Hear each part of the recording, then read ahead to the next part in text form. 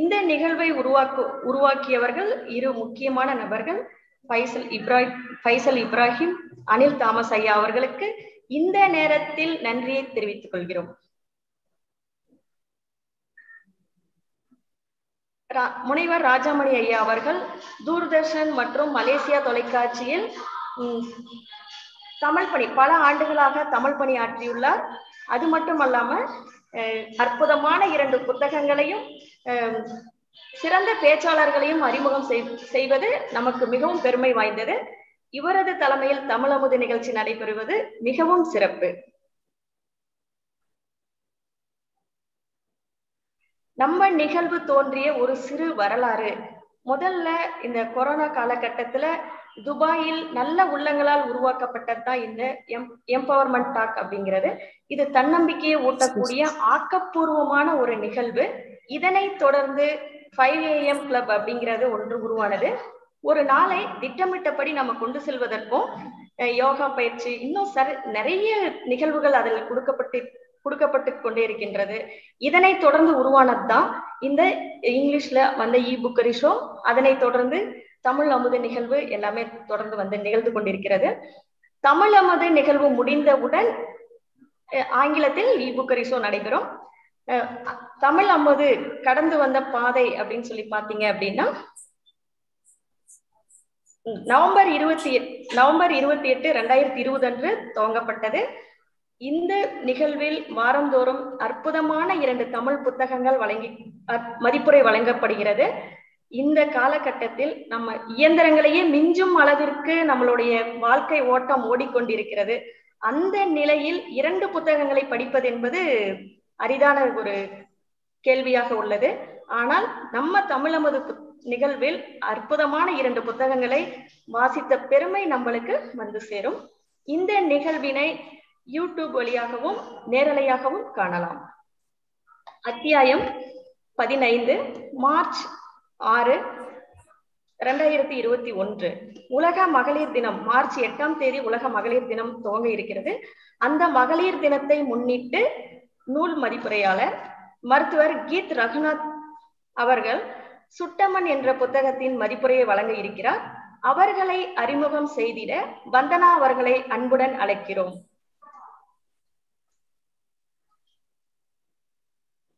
அனைவருக்கும் வணக்கம். வணக்கம் அம்மா. நான் பேசலாங்களா?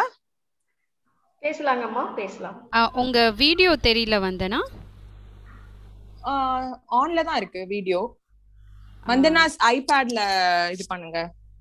ஆ இருக்கு. ஆனா உங்க ஃபேஸ் தெரியல. மேபி நீங்க அப்படிங்களா? இந்த பக்கம். ஆ இப்ப தெரியுது. இப்ப தெரியுது. ஓகே. இப்ப தெரிஞ்சது போயிடுச்சு. ஓகே. இன்னொரு ஆ இப்ப கரெக்டா இருக்கு. ஆ இப்ப ஆரம்பிக்கலாம். ஓகே. அனைவருக்கும் வணக்கம். மாலை வணக்கம். நான் இன்று அறிமுகப்படுத்த இருப்பது இருப்பது திருமதி மருத்துவர் கீத் ரகுநாத் அவர்களை. அவர்கள் மிகவும் எளிமையான குடும்பத்திலிருந்து பிறந்து வளர்ந்தவர். அவர் ஒரு மருத்துவர். அவர் ஒரு சிறிய கிளினிக்கில் இருந்து படிப்படியாக ஒரு மகப்பேறு மருத்துவமனையையும் ஒரு மல்டி ஸ்பெஷாலிட்டி மருத்துவமனையையும் உருவாக்கி இருக்கிறார் அவரது முதல் பிரசவம் ஒரு பாயிலிருந்து தொடங்கியதுதான்.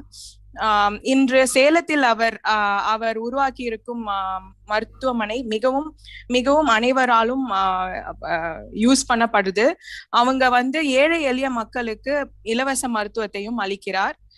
போன வருடம் ஹெல்த் மினிஸ்டர் திரு விஜயபாஸ்கர் அவர்கள் சிறந்த மருத்துவர் என்று அவருக்கு பட்டம் அளித்திருக்கிறார்.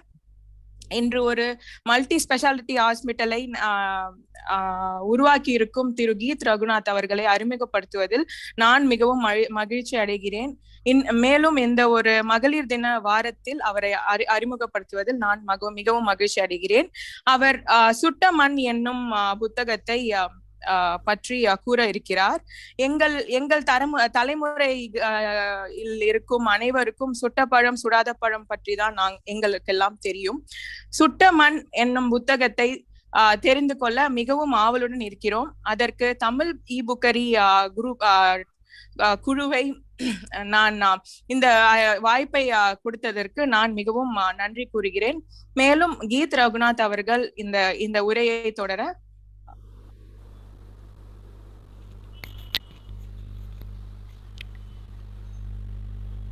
ஆமா கீத் ரகுநாத் அம்மா நீங்க தொடரலாம்.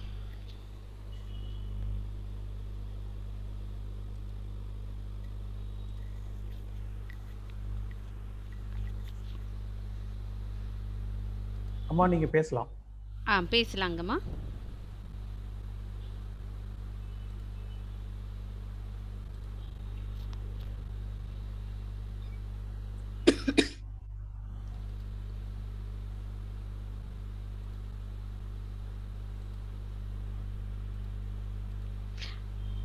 அவங்க மியூட்ல இருக்கிறாங்க.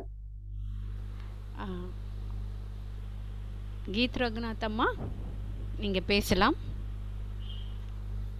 வீடியோ வரலைங்கம்மா வீடியோ வரல. அவங்க திருப்பியும் லாகின் பண்ணுவாங்கன்னு நினைக்கிறேன். அது வரைக்கும் அவங்கள பற்றி சில தகவல் நான் சொல்லணும்னு ஆசைப்பட்றேன். அவங்க லாகின் பண்ணுற வரைக்கும்.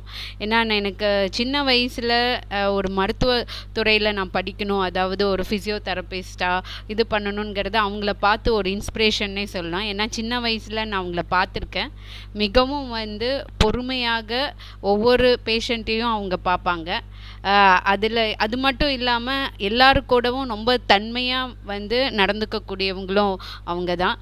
அவங்கள பற்றி அவங்க பேசுகிறதுக்காக நான் ரொம்ப ஆவலுடன் காத்து கொண்டிருக்கிறேன் அவங்க இணைப்பில் இல்லை. தொடர்ந்து இது பண்ணுவாங்க. அவங்கள பற்றி இன்னும் சில விவரங்கள் முனைவர் ராஜாமணி ஐயா அவர்களை கொடுக்க கேட்டுக்கொள்கிறேன். நான் அவர்களை தொடர்பு கொண்டு மிகவும் டாக்டர் அம்மாவை பத்தி திருமதி ராதா சொன்ன மாதிரி ராதா பாலச்சந்தர் சொன்ன மாதிரி ரொம்ப அறிமுகமானவங்க.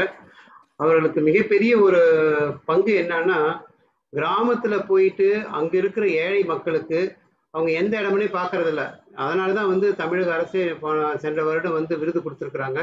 யாரு என்னன்னு பார்க்கறது இல்ல அவங்களுக்கு வசதி இருக்குதா இல்லையான்னு பார்க்கறது இல்ல அவங்க வந்து அந்த இடத்துக்கே போயிட்டு ஏன்னா ஒரு குழந்தை பிறக்கிறப்ப வந்து உங்களுக்கு அது வந்து மிக முக்கியமான ஒரு நேரம் அது. ஏன்னா அந்த இன்ஃபேண்ட் மார்டாலிட்டி அப்புறமா வந்து மார்டாலிட்டி வந்து நமக்கு ரொம்ப முக்கியமான ஒரு கவனிக்க வேண்டியது. அதற்காக அவங்க வந்து இடம் பொருள் ஏவல்னு எதுவுமே பார்க்கறதில்ல உடனடியாக அந்த இடத்துக்கு போய் அவர்களுக்கு வேண்டியது அனைத்தும் செய்வாங்க. ஏழைகளுக்காக நிறைய தொண்டாற்றி இருக்கிறாங்க இப்பொழுது டாக்டர் அம்மா வந்துட்டாங்க. டாக்டர் அம்மா நீங்க பேச ஆரம்பிங்கம்மா உங்களை பற்றியும் உங்களுடைய புத்தகம் சுட்ட மண். எ- எதனால உங்க கையை சுட்டதா என்னன்னு பேசுங்க.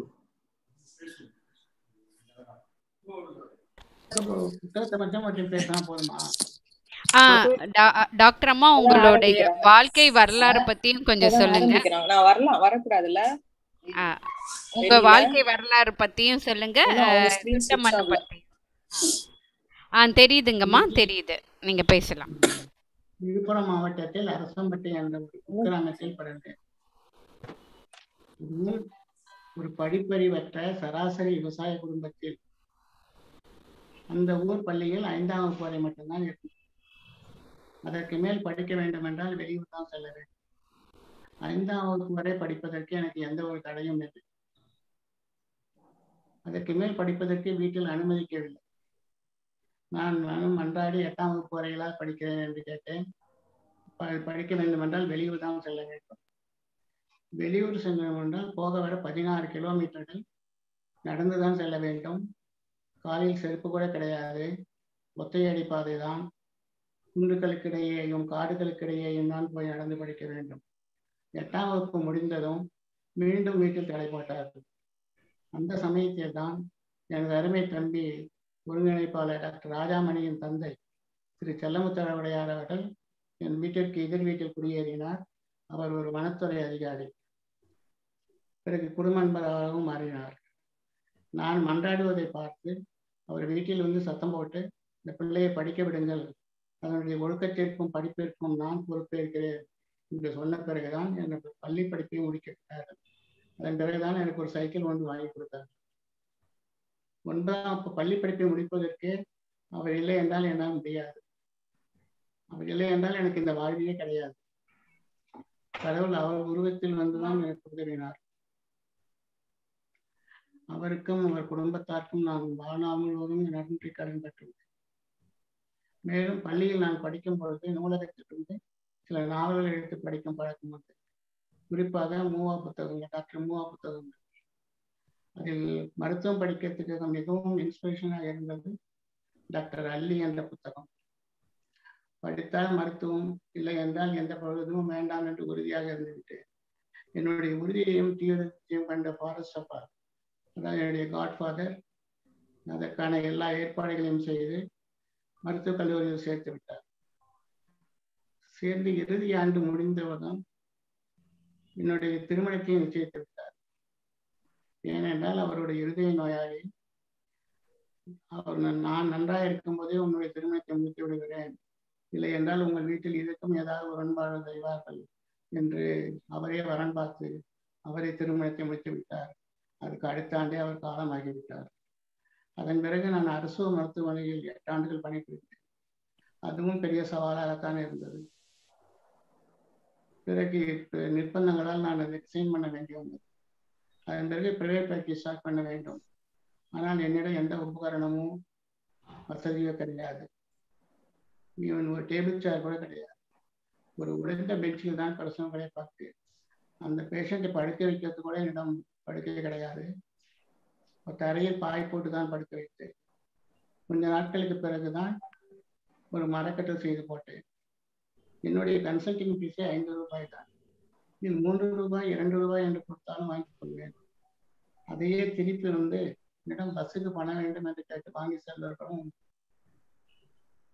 இப்படி இருந்தால் நான் எப்படி முன்னேறுவது? ஊரில் சொந்தமாக எனக்கு ஒரு பூர்வீக வீடு இருந்தது சொத்து இருந்தது. அது என்னுடைய மாமியார் வீடு. அந்த வீட்டின் பின்புறம் தோட்டத்தில் ஒரு மருத்துவமனையை கட்ட வேண்டும் என்ற ஆவலும் வேகமும் இருந்ததை வழிய வசதி எதுவும் இல்லை. என்னுடைய மாமனார் அவர் மோதன் எ ஃபாதர் மிக உறுதுணையாக இருந்தார். நான் இரவு பகற்பாக கடினமாக உழைத்தேன். ஒரே சமயத்தில் கட்டிடத்தை எழுப்ப முடியவில்லை. ஒவ்வொரு தளமாக தனித்தனியாக கடன் வங்கி கடன் வாங்கி ஒவ்வொரு தளமாக நான்கு தளங்களை அமைத்து அதில் ஒரு பெரிய அறுவை அரங்கத்தையும் அமைத்து ஒவ்வொரு நோயாளிக்கும் தனித்தனி அறைகள் அதாவது பாத் அட்டாச்சு ரூம் கொடுத்து ஒரு தரமான மருத்துவமனையாக்கி அதுவரை ஆத்தூரில் பொது மருத்துவ வார்டுகள் தான் உண்டே ஒழிய தனித்தனி அறைகள் கிடையாது. பிறகு மகனும் மருமகளும் மருத்துவ படிப்பு முடிந்து வந்து மேலும் பல வசதிகளுடனும் பல உபகரணங்களுடனும் இன்னும் ஒரு ஆபரேஷன் தேட்டர் போட்டு ஆத்தூரில் ஒரு அப்போலோ என்று சொல்லும்படி இருபத்தைந்து படுக்கைகளை கொண்ட ஒரு சூப்பர் ஸ்பெஷாலிட்டி ஹாஸ்பிட்டலாக மெருகூட்டினார்கள் அவர்களுக்கும் நான் நன்றி கடன்பட்டுள்ளேன் இப்போது என்னுடைய நூல் வரி. நான் படி கடைசியாக படித்தது சுத்தம் தன்னுடைய கதாசிரியர் திருமதி சிவசங்கரி. கதாபாத்திரங்கள் ரமணன் யமுனா. இந்த இருவரும் ஒரே கட்டிடத்தில் வெவ்வேறு இல்ல அலுவலகங்களில் வெவ்வேறு தளங்களில் பணிபுரிகிறார். எதேச்சியாக இவர் சந்திக்கிறார். சந்தித்த கொஞ்ச நாளே நட்பாக மாறுகிறது. இந்த நட்பு காதலாக மாறுகிறது. காதல் மலர்ந்த பத்தாம் நாளிலே திருமண அழைப்பதை அச்சுறுகிறார் அதில் முகவரி எழுதி கொண்டிருக்கும் பொழுது இருவரிடையே கருத்து வேறுபாடு ஏற்படுகிறது. உடனே திருமணத்தை நிறுத்தி விடுகிறார். நண்பர்களாக பெறுகிறார்கள் மீண்டும் ஐந்து ஆண்டுகளுக்கு பிறகு வேறொரு இடத்தில் எதேச்சையாக சந்திக்கிறார்கள் நண்பர்களாகிறார்கள் மீண்டும் காதல் மலர்கிறது திருமணத்தில் முடிகிறது மீண்டும் நண்பர்களாக பெறுகிறார்கள். இதுதான் நூலின் சாராம்சம் இதுக்கு என்ன காரணம்? காதலால் இருக்கும் பொழுது முகமூடி போட்டுக்கொள்வது ரொம்ப ரொம்ப சுலபம். அது கொஞ்ச நாளைக்கு தான் பிரிந்த உடனே கழட்டி விடலாம். எந்த ஒரு எதிர்பார்ப்பும் இருக்காது. ஆனால் திருமணம் ஆனவுடனே அந்த உறவு தந்த உரிமையை அடுத்தவர் நமக்காக மாறணும் என்று எதிர்பார்க்கும். அதில் நூற்றுக்கு தொண்ணூறு பேர் இதுதான் வாழ்க்கை என்று முடிந்த அளவில் மாற்றுகிறாங்க. ஆனால் நம்முடைய கதாபாத்திரங்கள் அதீத த தனித்தன்மையுடைய அறிவுஜீவிகள் இவ்வளவு ப்ராக்டிக்கலாக திங்க் பண்ணுறவங்க ஏன் திருமணம் என்று பந்த வேண்டாம் என்று உறுதியாக நிற்கிறார் ஏனென்றால் அவர்கள் அறிவுபூர்வமாக சிந்திக்கவில்லை. உணர்ச்சி வசப்பட்டு தப்பான முடிவெடுக்கிறார்கள் மூளையை கொண்டு புத்தியை கொண்டு முடிவெடுக்காமல் உணர்ச்சி இருதயத்தை கொண்டு முடிவெடுக்கிறார்கள் இவர்கள் இருவருமே ஒரு பொறுப்பான தாம்பத்திய வாழ்க்கைக்கு ஏற்றவர்கள் அல்ல. வாழ்க்கை என்பது ஒரு விளையாட்டு சமாச்சாரம். வேண்டுமென்றால் காதலிக்க மணக்க வேண்டாம் என்றால் முக்கிய நண்பர்களாக பிரிந்து விட விரும்புகிறது அது ஒரு ஆயிரங்காலத்து பயிர் நம்முடைய கதாபாத்திரங்கள் மனோதிடம் வாய்ந்தவர்கள் மிக துணிச்சலானவர்கள் அதீத தனித்தன்மை உடையவர்கள் அறிவு சுபூர்வமாக சிந்திக்கக்கூடியவர் இருந்தாலும் வேடுபள்ளம் நிறைந்த இந்த வாழ்க்கையில் விட்டுக் கொடுக்கும் தன்மையும் அனுசரித்து போவதும் ஒரு அங்கம் என்றவர்கள் உணரவே இல்லை. என்ன புத்திசாலிருந்து என்ன பயன்? ஒரு அதிமேதாவி மெத்தப்படுத்தவராக இருக்கலாம். இருந்தாலும் வாழ்க்கையில் எது நல்லது கெட்டது? எது வேண்டும் வேண்டாம் என்ற அடிப்படை விஷயங்கள் கூட புரிந்து கொள்ளாமல் முரண்டிக் கொண்டே இருந்தாரா அவரை விட யதார்த்தம் இருந்த வாழ்க்கையை ஏற்றுக்கொண்டு அந்த போக்கே வாழ்ந்து மகிழ்ச்சியையும் நிம்மதியையும் நிலைநிறுத்திக் கொள்ளும் பிடிக்காத பாமர மனிதன் மிக புத்திசாலி. நிம்மதியையும் மகிழ்ச்சியையும் வாழ்க்கையும் இழந்து விட்ட பிறகு இந்த தனித்தன்மையையும் அதீத அறிவு ஜீவிகளாக இருந்து தக்க வைத்துக் கொள்வதில் என்ன பயன் இருக்கிறது? ஏனென்றால் இவருடைய கன்சிஸ்டன்சி கிடைக்காது. நிரந்த கருத்து நிரந்தர கருத்துகள் இல்லாததே இவரிடம் வளர் மாற்றம் என்றால் வளர்ச்சி இருக்க வேண்டும். மனமாற்றம் மிக மிக முக்கியம். இல்லையெனில் பாசி படிந்த குட்டையாகிவிடும் மனிதனின் வாழ்க்கை. எந்த ஒரு மாற்றமாக இருந்தாலும் அது வளர்ச்சிக்கு உதவ வேண்டுமே ஒழிய வீழ்ச்சிக்கு அல்ல. வாழ்க்கை என்றால் மேடுபள்ளம் இல்லாத வாழ்க்கை ஒரு வாழ்க்கையே அல்ல. அந்த வாழ்க்கையில் விட்டுக் கொடுக்கும் தன்மையும் அனுசரித்து போன்ற குணமும் இல்லை என்றால் நிம்மதியே காண முடியாது. அருமையான பெண் அற்புதமான ஆணாக இருந்தும் விட்டுக் கொடுக்கும் தன்மையும் அனுசரித்து போகும் குணமும் இல்லை என்றால் அவர்கள் தாங்கள் தலையிலே தாங்களே மண்ணை வாரி போட்டுக் கொள்கிறார்கள் என்றுதான் அர்த்தம். இதுதான் வாழ்கின்ற ரசி சுத்தம் ஈர மண்ணில் என்ன வேணாலும் இஷ்டப்படி செய்யலாம். சுட்ட மண்ணில் எதுவுமே செய்ய முடியாது. ஒட்டவே ஒட்டாது. வாழ்த்துக்கு நன்றி வணக்கம்.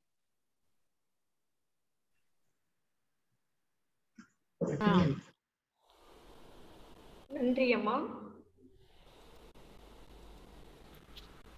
சுட்ட மண்ணில் தான் சுட்ட மண்ணில் எந்த ஒரு உருவமும் செய்ய முடியாது அப்படிங்கிறதையும் இந்த அற்புதமான கருத்துக்களை வழங்கியமைக்கு நன்றி அம்மா. மிக்க நன்றி. கண்டிப்பா இப்போ கேள்வி பதில் இருந்தா நாம பார்க்கலாம். அம்மா கீத் ரகுநாத் அம்மா ரொம்ப சிறப்பாக இருந்தது. கண்டிப்பாக உங்களுடைய வாழ்க்கை பயணம் வந்து இந்த நிகழ்ச்சியை வந்து இப்போ பார்த்துட்ருக்குறவங்களும் யூடியூப்பில் பார்த்துட்ருக்குறவங்களும் கண்டிப்பாக உங்களுக்கு வந்து பயனுள்ளதாக இருக்கும். நீங்கள் அது மட்டும் சொல்லலை வந்து இந்த மகளிர் தினத்தில் வந்து விட்டு கொடுத்து போவதும் சாதனையாளர்கள் தான். சாதிக்க பிறந்தவர்கள் விட்டு கொடுத்தும் போவாங்க வாழ்க்கையில அனுசரித்தும் போவாங்கங்கிறத மிக அஹ், சுருக்கமாக நீங்க கூறினீர்கள். இப்பொழுது கேள்வி பதில் இது பண்ணலாம். முனைவர் ராஜாமணி ஐயாவை மேற்கொண்டு பேச அழைக்கிறேன். ரொம்ப அருமையான பேச்சு. அது ரொம்ப எளிமையாகவும் இருந்தது அருமையாகவும் இருந்தது. ஏன்னா நீங்க சொல்றப்ப வந்து திரு எம் எஸ் பெருமாள் அவர்களும் நாங்களும் பேசிட்டு இருக்கிறப்ப வந்து உங்க மனதிலிருந்து வந்திருக்கு. ஏதாவது வந்து உதட்டளவுல இருந்து வரல உள்ளத்தளவுல இருந்து வந்திருக்குது. ஆனா ரொம்ப அருமையா நீங்க பேசியிருக்கிறீங்க. திரு எம் எஸ் பெருமாள் அவர்கள் ரொம்ப ஆழ்ந்து அனுபவிச்சாங்க. நீங்க என்ன சொல்றீங்க? தெளிவான ப்ரெசன்டேஷன்மா டாக்டர் வந்து ப்ரிஸ்கிரிப்ஷன்ல ஜாஸ்தி எழுத மாட்டாங்க. குறிப்பா எழுதுற மாதிரி நீங்களும் குறிப்பா சில விஷயங்கள் மட்டும் நீங்க சொல்லியிருக்கீங்க. ஆனா ரொம்ப எஃபெக்டிவா இருந்தது. மைக்கு கிட்ட வந்து பேசுங்க. ஆத்மார்த்தமா இருந்தது உங்களுடைய ப்ரெசன்டேஷன் வாழ்த்துக்கள் அம்மா மகளிர் தின வாழ்த்துக்கள் சேர்த்து சொல்லிடுறேன் உங்களுக்கு. தேங்க்யூ வேற எதுவும் கேள்வி இருக்கு? அவர் ரவி சார் அவர் கேள்வி இருக்கு. ஐயா நீங்க பேசலாம் ஐயா. வணக்கம் டாக்டர் கீத் ரகுநாத். ஒரு மெல்லிய ஒரு அருமையான நீரோடை போல உள்ளது. எளிய தெளிவா தெளிவு எளிமை அவ்வளவு ஆனா பெருமை இருந்தும் ஒரு அவ்வளவு ஒரு அருமையான ஒரு நீரோட்டம் மூலம் எளிமையாக ஒரு புத்தகத்தை அதன் உட்கருத்து என்ன அதில் என்ன செய்ய வேண்டும் என்ன செய்ய கூடாது என்பதை தெளிவாக சொல்லிவிட்டீர்கள். என்னுடைய கேள்வி என்னவென்றால் இந்த புத்தகத்தை எப்பொழுது படித்தீர்கள் எப்பொழுது உங்க மனதில் தாக்கம் ஏற்பட்டது? இதை ஏன் தேர்ந்தெடுத்தேன் இரண்டு மாதத்துக்குள் படித்தேன். நன்றி. சிவசங்கரி அவர்கள் எழுதினார்கள் மிகப்பெரிய எழுத்தாளர். நன்றி நன்றி. இதை அறிமுகப்படுத்தியதற்கு மிக்க ரொம்ப நன்றி. வேற ஏதேனும் கேள்விகள் இருக்குங்களா? அடுத்த நிகழ்வுக்கு போறதுக்கு முன்னாடி இதோ அவங்க ரேவதி அவங்க இருக்காங்க. அவங்க கண்டிப்பாக கேள்வி வச்சுருப்பாங்கன்னு நினைக்கிறேன். திருமதி ரேவதி ஞானப்பிரகாசம் அம்மா நீங்கள் ஏற்கனவே அம்மாவை பற்றி தெரியும் உங்களுக்கு. இன்னைக்கு அவங்க அவளுடைய புத்தக மதிப்பு இதை பற்றி நீங்கள் கூறலாம். ரேவதி ஞானப்பிரகாசம் அம்மா நீங்கள் பேசலாம்.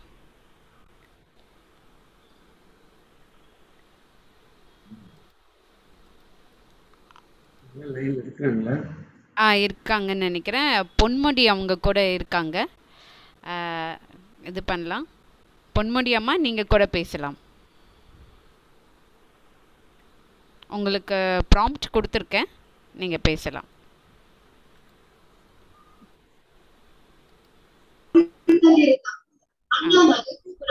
பொன்முடி அம்மா நீங்கள் பேசலாம். புத்தக மதிப்புரை பற்றியும் டாக்டர் அம்மாவை பற்றியும் நீங்கள் பேசலாம். ஆ, பொன்முடி அம்மா நீங்கள் பேசலாம்.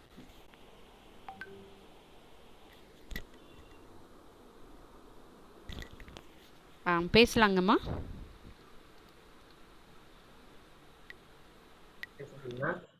ஆ பேசுகிறாங்க ஒரு நிமிடம்.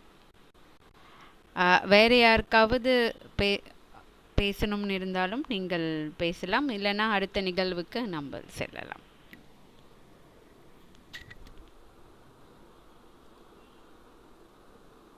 ஓகே ஆஹ் இனி நம்ம அடுத்த நிகழ்வுக்கு போகலாம்.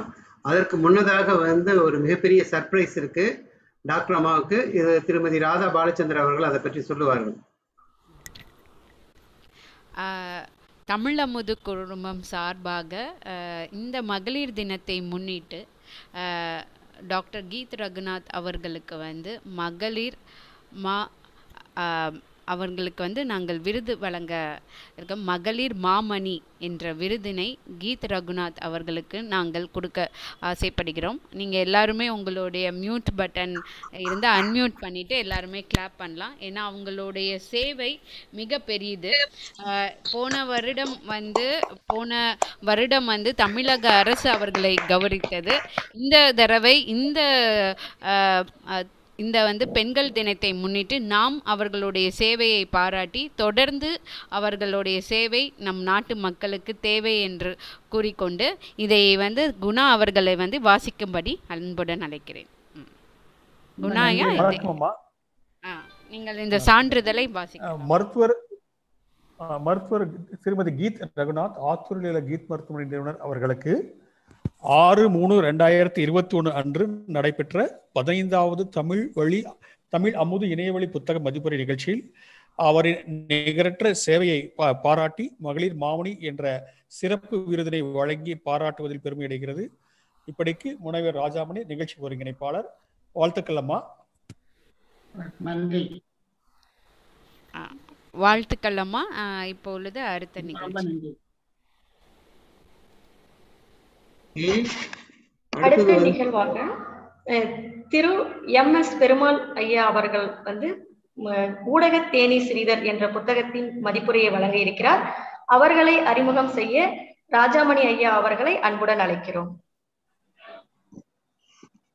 அனைவருக்கும் வணக்கம். இன்னைக்கு நாம பார்த்தோம்னா ஒரு மிகப்பெரிய ஜாம்பவான்கள் ரெண்டு பேர் நம்ம கூட இருக்கிறாங்க. அவர்கள் யாருன்னு நான் சொல்ல வேண்டியதில்லை. திரு எம் எஸ் பெருமாள் அவர்களும் திரு டாக்டர் ஸ்ரீதர் அவர்களும் எம் எஸ் பெருமாள் அவர்களை பற்றி சொல்லணும்னா நம்ம நிறைய சொல்லிக்கிட்டே இருக்கலாம். இன்னும் ஒரு இருபது முப்பது நிமிடம் கூட நான் பேசிக்கிட்டே இருக்கலாம். ஏன்னா நாங்கள்லாம் வந்து தொலைக்காட்சியில் வந்து இவ்வளவு தூரம் பரிணமிக்கிறோம்னா அதற்கு ஒரே ஒரு காரணம் வந்து திரு எம் எஸ் பெருமாள் அவர்களுடைய கிரியேட்டிவிட்டியிலிருந்து ஒரே ஒரு சின்ன துளி நாங்கள் எடுத்துக்கிட்டது தான். வேற வேற எந்த காரணமும் இல்லை.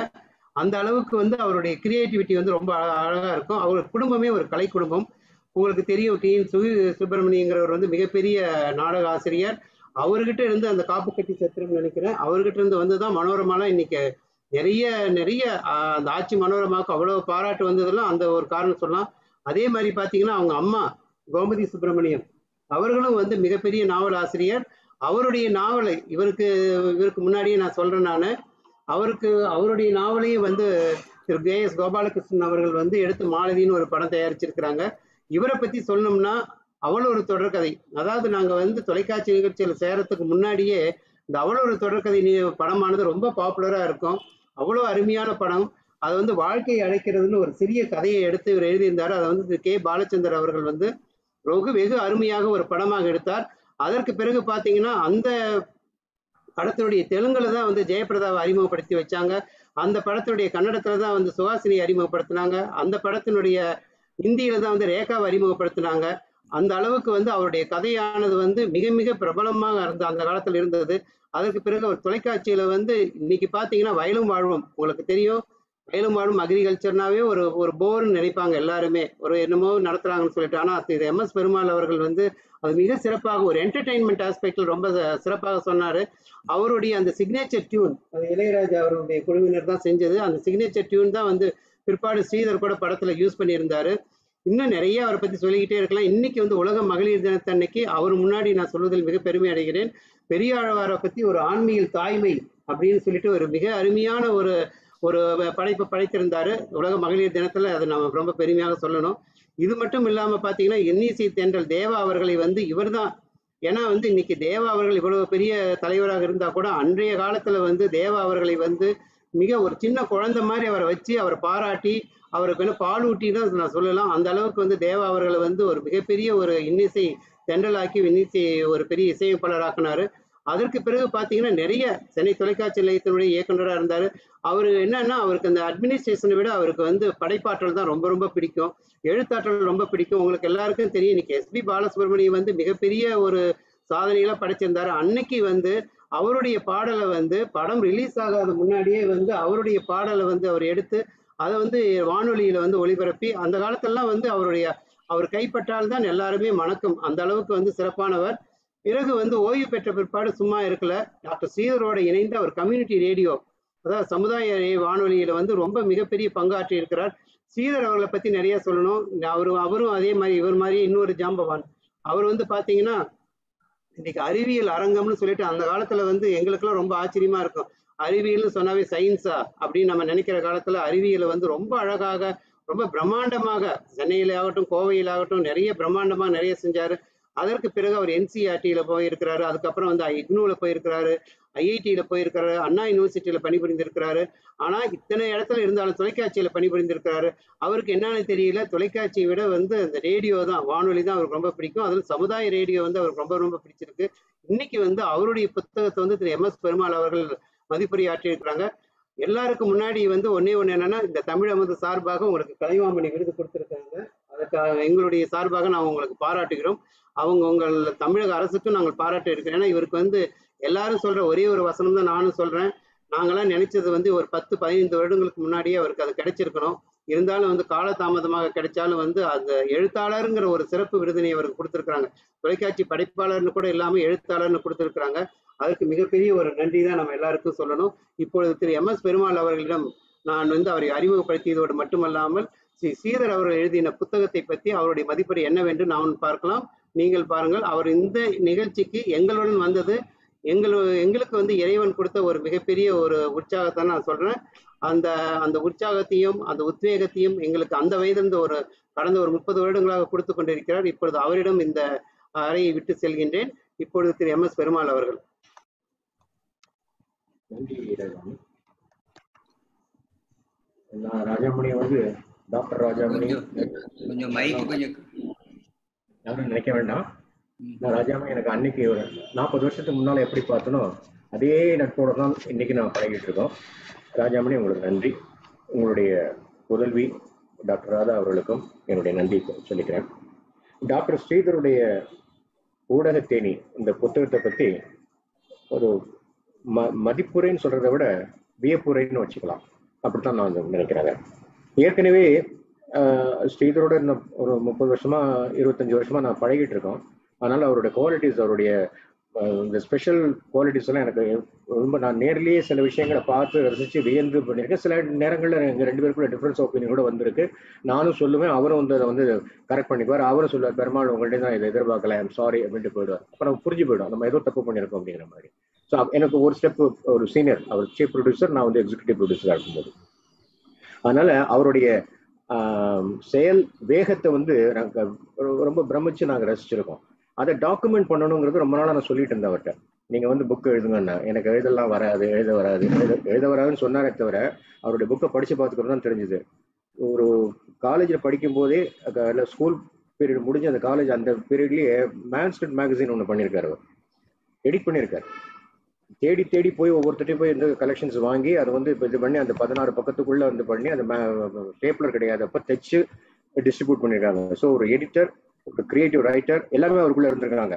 ஆனால் இன்னைக்கு ஸ்ரீதர் அப்படின்னு சொன்னா வெளியில தெரியறது வந்து சயின்டிஸ்ட் சயின்ஸ் ஆஃபீஸர் அப்படிதான் தெரிஞ்சிட்டு நமக்கு இன்னைக்கு இந்த ரெவ்யூக்கு எடுத்துட்டு இருக்க ரெவ்யூங்கன்னு கூட சொல்ல மாட்டேன். வியப்புரைக்காக எடுத்துட்டு இருக்க புத்தகம் வந்து ஊடகத்தீனி இந்த புக்கை எழுதினது வந்து ராணி மைந்தன் அவர் எஸ்டாப்ளிஷ் ரைட்டர் பொதுவாக வரலாறுகள் வாழும்போதே வரலாறுகள் வந்து எழுதினவங்க வந்து ரொம்ப கம்மி. காந்தியடிகளுடைய சத்திய சோதனையாகட்டும் ஓவே சாமிநாதனுடைய என் சரிதமாகட்டும் கலைஞருடைய நெஞ்சுக்கு நீதி ஆகட்டும் எம்ஜிஆருடைய நானின் பிறந்தேன் கண்ணதாசன் எழுதின வனவாசம் அப்துல் கலாமுடைய அக்னி சிறகுகள் இதெல்லாம் வந்து ஆட்டோபயோகிராஃபி அவங்களுடைய தன் வரலாறு எழுதியிருக்காங்க. அதுல இருந்து தெரிஞ்சுக்கிறதுக்கு நம்ம நிறைய விஷயங்கள் இருக்கு. ஒவ்வொருத்தரும் ஒரு வேரியஸ் வாக்ஸ் ஆஃப் லைஃப் இதுல வந்து கொஞ்சம் கொஞ்சம் சிமிலரா வரக்கூடியது வந்து கலைஞர் கண்ணதாசன் அண்ட் எம்ஜிஆர் வேணா அவங்களுக்கு வந்து சினிமா தொடர்பு உள்ள வரலாம். அப்புறம் பின்னால் அரசியல். அது மூணு பேருமே அரசியல்ல வந்து ஈடுபட்டவங்க. அவங்கள்ட்ட நம்ம கத்துக்க வேண்டிய விஷயங்கிறத விட சில எச்சரிக்கையான சில விஷயங்கள் வந்து அவங்களுடைய பயோகிராஃபி நம்ம வந்து தெரிஞ்சு தெரிஞ்சுக்கிற சான்சஸ் இருக்கு. ராணி மைந்தனுடைய ஸ்பெஷாலிட்டி என்ன அப்படின்னா அவர் வியந்து ரசிச்ச சில விஷயங்களை நம்மளும் வியந்து ரசிக்கிற அளவுக்கு எழுதக்கூடிய ஒரு ஆற்றல் மிக்கவர் தன் வரலாறு எழுத எழுத- எழுதக்கூடியவங்களுக்கு அவங்க அவங்களே எழுதிடுறாங்க அந்த புக்கை நம்ம பப்ளிஷ் பண்றாங்க எல்லாம் படிச்சிருக்கோம். ஆனா அடுத்தவங்களுடைய பத்தி வரலாற்று எழுதும்போது பெரிய பாராட்டுரையாவும் இருந்தக்கூடாது புகழாரமாவும் இருந்துடக்கூடாது புகழாரம் இருந்ததுன்னா இவங்க எதுவுமே எதிர்பார்த்து எழுதுறாங்கிற மாதிரி வந்துடும் அதனால ஃபேக்ட்ஸும் இருக்கணும். அதே சமயம் கலைநயத்தோட அதை ப்ரெசென்ட் பண்ணணுங்கிறதுல வந்து அந்த கிராஃப்ட் வந்து ராணி மன்னனுடைய ஒர்க்ல வந்து நான் நிறைய ரெண்டு மூணு புக்கு நான் படிச்சிருக்கேன். இயக்குனர் எஸ் பி முத்துராமனுடைய பயோகிராஃபி எழுதியிருக்காங்க. இலக்கிய விதி இனிவனை பற்றி எழுதியிருக்காரு ரவணி மைந்தன். நல்லி குப்புசாமி செட்டியாரை பற்றி அவருடைய கலை தொடர்புகள் நிர்வாகத்தில் உள்ள அவருடைய நெளிவு சுழிவுகள் இந்த விஷயங்களை பற்றி எழுதியிருக்காங்க. அந்த வரிசையில இப்போ ஸ்ரீதருடைய ஊடகத்தேனி இந்த புத்தகம் வந்து இது ரெண்டு வருஷம் ஆச்சு இந்த புக்கு ரிலீஸ் ஆகி வந்து. இதில் ஒரு சின்ன பெருமை எனக்கு என்னன்னா நான் சொன்னேங்கிறத விட இது வந்து ஸ்ரீதர் அக்செப்ட் பண்ணிட்டார் ர- ராணி மேந்தன் அக்செப்ட் பண்ணிட்டேன் அது முன்னுரையிலேயே அது குறிப்பிட்டிருக்காங்க. இந்த தலைப்பு கொடுத்தது எம் எஸ் பெருமாள் அப்படின்ட்டு ஸோ அதனால நான் காரணம் தூக்கி விட்டுக்கலாம். அவரை நான் சரியா கணிச்சிருக்கேன் அப்படின்ட்டு. இப்போ ஓரளவுக்கு நமக்கு வந்து இந்த நூலுக்குள்ள போறதுக்கு முன்னால் சில பொதுவான விஷயங்கள் நான் சொல்ல வேண்டியிருக்கு. அருகம்புல்லுக்கும் வாழ்க்கை இருக்கு. ஆலமரத்துக்கும் வாழ்க்கை இருக்கு. ஆறறிவு உள்ள மனுஷனுக்கும் வாழ்க்கை இருக்கு. ஆனா எல்லாருடைய வாழ்க்கையும் வரலாறு ஆறதில்லை. வரலாறு ஆகணுமானா அதுக்கு என்ன ஸ்பெஷல் குவாலிட்டி வழிகாட்டுகள் இருக்கணும். அடுத்தவங்க கத்துக்கிறதுக்கு விஷயம் இருந்தால் அந்த வழிகாட்டிகளுக்கு நிச்சயமா வரலாறு வந்து பேசப்படும். அப்படிப்பட்ட ஒரு வரலாற்று வரிசையில வந்து டாக்டர் ஸ்ரீதரை பத்தின ஊடகத்தினை புத்தகம் வந்திருக்கிறவல்ல எனக்கு ரொம்ப பெருமையா இருக்கு. எந்த வகையில் அப்படின்னாக்க இப்ப பொதுவா வந்து அரசாங்க நிறுவனங்கள்ல எப்படி பார்த்தாலும் ஏதாவது ஒரு இதுல இந்த ரெட்டேபிசம் சொல்லுவாங்க இல்லையா? அது ஒண்ணு. எவேசிவ் தள்ளி விடுறது விஷயங்கள். நமக்கு எதுக்குப்பா வம்பு? பிரசிடென்ட் இருக்கா? இல்லையா? சரி விட்டு நம்ம ஏன் புதுசா பண்ணணும்? இப்படிங்கிற மாதிரி சில விஷயங்கள் வந்து நானும் அனுபவிச்சிருக்கேன். நிறைய பேர் அதுக்கு தெரியாது. முடியாது நடக்காது கிடைக்காது கூடாது.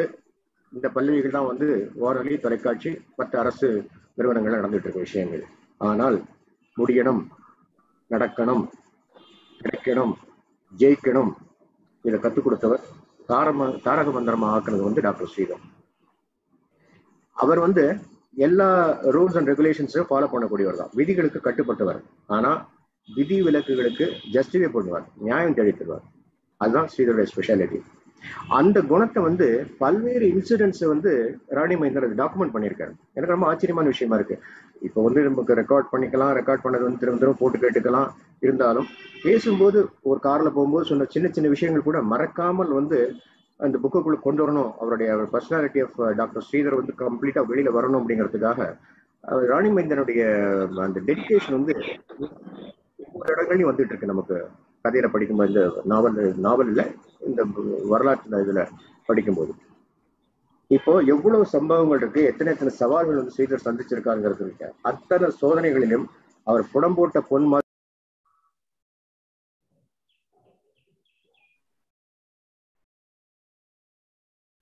வருது சார் உங்களுடைய மைக்கு மியூட் ஆயிடுச்சுங்க சார். ஓகே இப்போ ஓகே ஓகே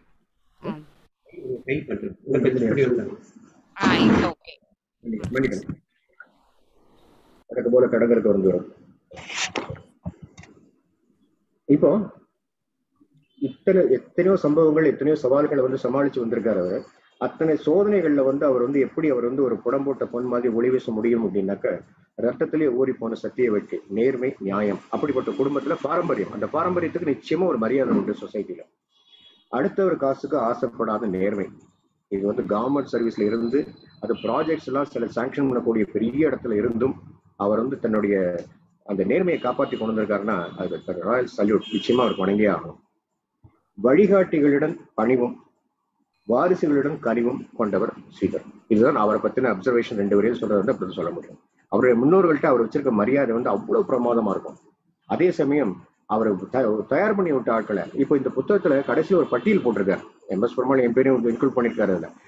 அதை ஒரு ஆங்கரிங்க்கு வந்த பொண்ணு ரிசர்ச்சுக்காக வந்து அசிஸ்டண்டா வந்தவங்க அத்தனை பேரையும் ஞாபகம் வச்சு இன்னைக்கு அவங்க எல்லாம் ஃபிளரிஷ் ஆகி லைஃப்ல வந்து சதீஷ் சதீஷ் நாகராஜ். இந்த மாதிரி சில குறிப்பிட்டப்பட்ட நபர்கள் வந்து எல்லாருமே இன்னைக்கு வந்து பெரிய லைம் லைட்ல இருக்காங்க. அவங்கள அவங்க அவங்களே வந்து ஒரு பத்து பேரை உருவாக்கக்கூடிய லைக் நீரஜா பிரபாகர் அந்த மாதிரி நிறைய பேர்கள் வந்து அவர் வந்து தயார் பண்ணி விட்டுருக்காரு. அவங்க அத்தனை பேரையும் அப்ரிஷியேட் பண்ணி இந்த புக்ல வந்து டாக்குமெண்ட் பண்ணியிருக்காங்க. அது பெரிய விஷயம். எல்லாரும் தன்னுடைய முன்னோர்களை பற்றி சொல்லுவாங்க. நான் அவர்கிட்ட இருந்து கத்துக்கிட்டேன் அவர்கிட்ட இருந்து வாழ்ந்தேன். அவர் அவர்கிட்ட இருந்து இதெல்லாம் கிராஸ் பண்ணிக்கிட்டேன். அப்படிலாம் சில விஷயங்கள் சொல்லுவாங்க. ஆனால் தான் அறிமுகப்படுத்தின அல்ல ஆளாக்கின நபர்களை பத்தின பெருமைகளை வந்து சொல்றதுங்கிறது வந்து பெரிய மனசு வேணும் நான் இந்த டீச்சர்ஸ் டே இருக்கு கூட ஃபேஸ்புக்ல இருந்து ஒரு இது போட்டிருக்கேன் தன்னிடம் படித்த மாணவனை அண்ணாந்து பார்க்கும் ஆசிரியர் தின வாழ்த்துக்கள் போட்டிருந்தேன். அந்த மாதிரி தன்னுடைய ஸ்டூடெண்ட்ஸ் வந்து இன்னைக்கு லைம்லைட்ல இருக்காங்கிறதுக்கு ரொம்ப பெருமைப்படுறா ஸ்ரீதருங்கிறது வந்து அவர் சொன்னதோட எல்லாம் ராணி மைந்தன் மறக்காம அதை டாக்குமெண்ட் பண்ணியிருக்கார். ஆனா ரெண்டு பேருக்குமே நான் வந்து நான் நன்றியும் பாராட்டும் நான் தெரிவிக்கிறேன். இப்படி நான் வந்து இவ்வளவு தூரம் ஒரு பாராட்டத்துக்கு காரணம் என்னன்னா ராணி மைந்தன் எழுதின இந்த நூலை படிச்சதுக்கு அப்புறம் ஏற்பட்ட பிரமிப்பு ஸ்ரீதரும் நானும் வானொலி தொலைக்காட்சி நிலையங்களில் பணிபுரியும் போது நடந்த சில சம்பவங்கள் அதனால அவர் மேலே ஏற்பட்ட பிரமிப்பு அதான் இதுக்கான காரணங்கள். இப்போ இந்த நூலுக்குள்ள நான் ஒரு செக்மெண்ட் வைஸ் நான் போகல. அவர் பள்ளி பருவத்தை பத்தி கொஞ்சம் பண்ணியிருக்காங்க. பள்ளி பருவத்தை வந்து அவர் என்ன அது எல்லாருமே ஸ்கூலுக்கு போகிறது படிக்கிறது கஷ்டப்பட்டு படிக்கிறது ஃபீஸ் கட்டுறதுக்கு உள்ள பிரச்சனைகள் உள்ள இடங்கள் ஏதோ அந்த மாதிரி இருந்தா கூட அவருடைய படிப்பு வந்து கிளாஸ்ல வந்து எப்பவுமே ஃபர்ஸ்ட் வரணும் அப்படிங்கிற ஒரு இதில் ஒரு நல்ல நல்ல ஒரு என்ன சொல்றது எப்பவுமே ஃபர்ஸ்ட் ரேங்க் வரக்கூடிய நம்பர் ஒன்னா வரக்கூடிய இது. ஆனால் அவருக்கு வந்து ஆசிரியர்கிட்ட இருந்து பாராட்டு கிடைக்கல. அதுதான் அந்த ஐரணி அதான் அதுல வந்து ஒரு ஒரு ஐரணி சொல்ல மாட்டேன். அது ஒரு பெக்யூலியரான அவருக்கு டேர்னிங் பாயிண்ட் சொல்லலாம். எல்லாரும் தான் படிக்கிறான் எல்லாரும் தான் பாஸ் பண்றான் எல்லாரும் டிகிரி வாங்கிட்டு போடுறேன்டா அதுல என்ன பெருமை இருக்கு? அவர் கிரியேட்டிவா ஏதாவது செய்ய வேண்டாமா? அப்போ அவர் மனசுக்குள்ள இருந்த ஒரு ஒரு எழுத்தாளனை ஒரு எடிட்டரை ஒரு மீடியா பர்சனை அது தூண்டி விட்டது வந்து அவருடைய பள்ளி பருவத்தினுடைய அவருடைய ஆசிரியர். அதை வந்து மறக்காமல் அவரும் ஞாபகப்படுத்தியிருக்கார். ராணி மகேந்திரன் அதை வந்து டாக்குமெண்ட் பண்ணியிருக்காரு. அந்த விஷயத்துல. அவருடைய வானொலி தொடர்பு வந்து ஏஆர் கிருஷ்ணமூர்த்தி அவர் என்கிற ஏஆர் கிருஷ்ணமூர்த்தி தான் எனக்கும் வானொலி எழுந்த இளைய பாரதம் இருக்கும்போது எனக்கு வந்து முத முதல்ல எனக்கு ஒரு சந்தர்ப்பம் கொடுத்து அதுக்கப்புறம் ஒரு மாஸ் கம்யூனிகேஷனுக்கு அவர் சர்வேக்கு என்னை செலக்ட் பண்ணி ஆரம்பிச்சு என்னை உருவாக்கினதும் ஏஆர் கிருஷ்ணமூர்த்தி. அவரை நான் இந்த நேரத்துல செய்து- சேர்த்து நானும் வந்து நன்றியோடு நி- நினைவுபடுத்திக்கேன் இப்போ. வானொலி தொடர்புல வந்து அவர் சொந்தமா என்னென்ன மாதிரி இப்போ இதுகள் கிரியேட்டிவா ப்ரோக்ராம் பண்ணலாம் அப்படிங்கிறதுக்கு இது வரைக்கும் எதுவும் பண்ணாத விஷயமா பண்ண பண்ணணும் யோஜனை பண்ணிருக்கேன் உடனே வெரைட்டி ப்ரோக்ராம் ஒன்று நான் பண்றேன் சார். சரி வெரைட்டி ப்ரோக்ராம் வந்து அது எல்லாரும் பண்ணுவாங்க. ஒருத்தர் பாடுவாங்க கிட்டார் வாசிப்பாங்க ஒருத்தர் வந்து டான்ஸ் ஆடுவான் ரேடியோவில் டான்ஸ் தெரியாட்டா கூட அந்த டான்ஸ் ஆடணும்னு ஆடணும் ஆடணும்னு ஒரு சின்ன ஒரு ஒரு இன்டர்வியூ மாதிரி எடுத்து இன்க்ளூட் பண்ணி இந்த மாதிரி நாங்கள் ஜஸ்டிஃபை பண்ணுவோம். ஆனால் இவர் என்ன பண்ணாருன்னா வெளி மாநிலங்கள்லேருந்து வந்து இங்கே தங்கி படிக்கிற மாணவர்கள்ட்ட கூப்பிட்டு அவங்கவுங்க ஊரை பற்றி அந்த ஊருடைய கல்ச்சரை பற்றி அதனுடைய எதனால் அவங்க வந்து ஈர்ப்பு வந்து சென்னைக்கு வந்து அவங்க படிக்க வந்தாங்கிறதுக்கான காரணங்களை கேட்டு இதனால் அங்கே ஸ்டாண்டர்ட் சரியில்லையா அப்படின்னு ஒரு கேள்வி வர நடுவில் சொருகி விட்டு இல்லை இல்லை நாங்கள் அதை விட இங்கே பெட்டராக இருக்கிறதுக்காக வந்தோம். எங்களுக்கு இந்த எக்யூப்மெண்ட்ஸ் கிடைக்குது இந்த ஃபெசிலிட்டிஸ் கிடைக்குது லைப்ரரி இருக்கு இதனால நாங்கள் இங்கே வந்தோம்னு அவங்களை அவங்கள்ட்ட இருந்து உண்மையான காரணத்தை வந்து தேடி வர வச்சு இங்கே வந்து பண்ணி அந்த மாதிரி இளையபாரத நிகழ்ச்சிகள் வந்து நிறைய நிகழ்ச்சிகள் பண்ணியிருக்கேன். நான் வந்து ஸ்ரீதர அந்த இளையபாரதம் ப்ரோக்ராம் எல்லாம் பண்ணிட்டு இருக்கும்போது நான் கொஞ்சம் அவர் எழுபத்தி ரெண்டு எழுபத்தி மூணு அந்த அந்த பீரியட்ல தான் வாலண்டியர்டுக்குள்ள வந்தது. நாங்க அறுபத்தி மூணு கொஞ்சம் சீனியர்னு கொஞ்சம் கெத்து ஒன்று காட்டுவோம் நாங்கள் ரெண்டாவது வர்த்தகபடி வரப்பு வேற. நாங்க சம்பாதிச்சு கொடுக்குறோம் ஸ்டேஷனுக்கு அப்படிங்கறதுனால போகும்போதும் வரும்போதும் இந்த குச்சி குடு குடு குடுன்னு இந்த பையன் ஒருத்தன் குறுக்கே நடிக்க போயிட்டு வந்துட்டு இருக்கான். கையில டேப் எடுத்துட்டு போறான். திரும்பி வரும்போது ரெஜிஸ்டர் எடுத்துட்டு வரான். என்ன யாருப்பா இந்த பையன்? தாண்டி போகும்போது இத்தனைக்கும். அவர் ஒரு கிட்டத்தட்ட ஒரு அலட்சியமான பார்வை தான் வச்சுங்களேன் நாளைக்கு வந்து அவர் இவ்வளவு பெரிய விஸ்வரூபம் எடுப்பாருன்னு தெரிஞ்சுதான் அன்னைக்கு ரெண்டு குட் மார்னிங் போட்டு வச்சிருப்பாங்க. அது வேற விஷயம். அப்படி இருக்கும்போது அவர் வந்து எந்தையுமே இது பாக்குறது இல்ல ஃபைல் எடுத்துட்டு போறதுக்கு பியூன் உடனே எதிர்பார்க்கறது டேப் எடுத்துட்டு போறதுக்கு அசிஸ்டன்ட் உடனே எதிர்பார்க்கறது கிடையாது. அவரே கூட்டு போற அவரே கொஞ்சம் டேப்பை லோட் பண்ணி உள்ள போயிட்டு மைக்ல போயிட்டு ஓப்பனிங் அனௌன்ஸ்மெண்ட் கொடுத்து திரும்பி வந்ததுக்கு அப்புறம் வந்து கை காமிச்சு நீங்க டாக்கர் வந்தாங்கன்னா அவங்களுக்கு ப்ரெசென்ட் வந்து ரெக்கார்ட் பண்ணுங்க. எல்லாம் ஒன் மேன் ஷோ யாரையும் எந்த காலையும் எதிர்பார்க்கறது இல்லைன்னு அது இன்னைய வரைக்கும் ஓடிட்டு இருக்கு. நாற்பது நாற்பத்தஞ்சு வருஷம் ஐம்பது வருஷம் ஆகி போச்சு ஐம்பது வருஷத்துலயும் இந்த அதே சுறுசுறுப்பு அதனாலதான் அந்த டைட்டில் வந்து ஜஸ்டிஃபைடு ஊடக தேனி அவரோட ஏஆர்ல இருந்து நிறைய ஃபார்மேட் ப்ரோக்ராம்ஸ் பண்ணிருக்காரு. மக்கள் மேடை பண்ணதாகட்டும் காமராஜரோட இறுதி ஊர்வலம் பண்ண நடக்கும்போது அது வந்து கண்டினியூஸா இது பண்றதுக்கு லைவ் கமெண்ட்ரி கொடுக்கறதுக்கு இப்போ டெலிவிஷன்னா உங்களுக்கு வந்து இந்த பிக்சர் வந்து உள்ள ஸ்டுடியோக்குள்ள வந்துடும் அதை பார்த்துட்டு கூட அவங்க வந்து எம்ஜிஆருக்கு அப்படித்தான் நாங்கள் பண்ணோம். காமராஜும் போது அவர் லைவ் பண்ண முடியல. எம்ஜிஆருக்கு வரும்போது டெலிவிஷன்ல வந்து லைவ் கமெண்ட்ரி கொடுத்தோம். ஆனால் பிக்சர் உள்ள வந்துடும் ஸ்டுடியோக்குள்ள வந்து அதை பார்த்து பார்த்து சொல்ல முடியும். இது ரேடியோ வந்து அந்தந்த ஸ்பாட்லைன் சொல்லணும்னு வரும்போது நமக்கு வந்து அவ்வளவு ஃபெசிலிட்டிஸ் இல்லையே. ரெக்கார்டிங் பண்ண முடியாது. ரெக்கார்ட் இது ரெக்கார்டர்லாம் கிடையாது. என்ன பண்றது? எப்படி ரிலே பண்றதுங்கிறது தெரியாம ரிலே ஃபெசிலிட்டிஸ் ஜாஸ்தி இல்லைங்கும் போது வயர்லெஸ் இருக்கே அதை வச்சு பண்ணலாம். வயர்லெஸ் எந்த மூலையிலிருந்து யாரோடாலும் கான்டாக்ட் பண்ணுவாங்க போலீஸ் டிபார்ட்மெண்ட்டோட கேட்டு அது அந்த ஐடியா அங்க எஸ்டி டைரக்டருக்கோ அல்லது மற்ற ப்ரொடியூசருக்கோ மற்றவங்களுக்கோ வந்து இந்த மாதிரி சில விஷயங்கள் தோணாது. சார் கிடைக்கல சார் என்ன சார் பண்றது? நம்ம வந்து சொல்லிக்கலாமா? நம்ம வந்து இந்த இடத்துல ஊர்வலம் போயிட்டு இருக்குன்னு சொல்லிக்கலாமான்னு?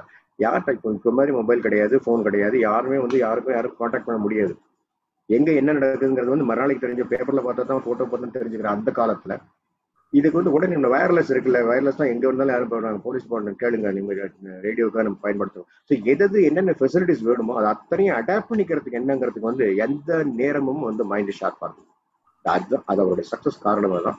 அதை வந்து அவர் சொன்னது மட்டும் இல்லாமல் அதை வந்து அழகா ஒரு ஸ்டோரி மாதிரி வந்து ராடி மைந்தர் அதை ப்ரெசென்ட் பண்ணியிருக்காரு.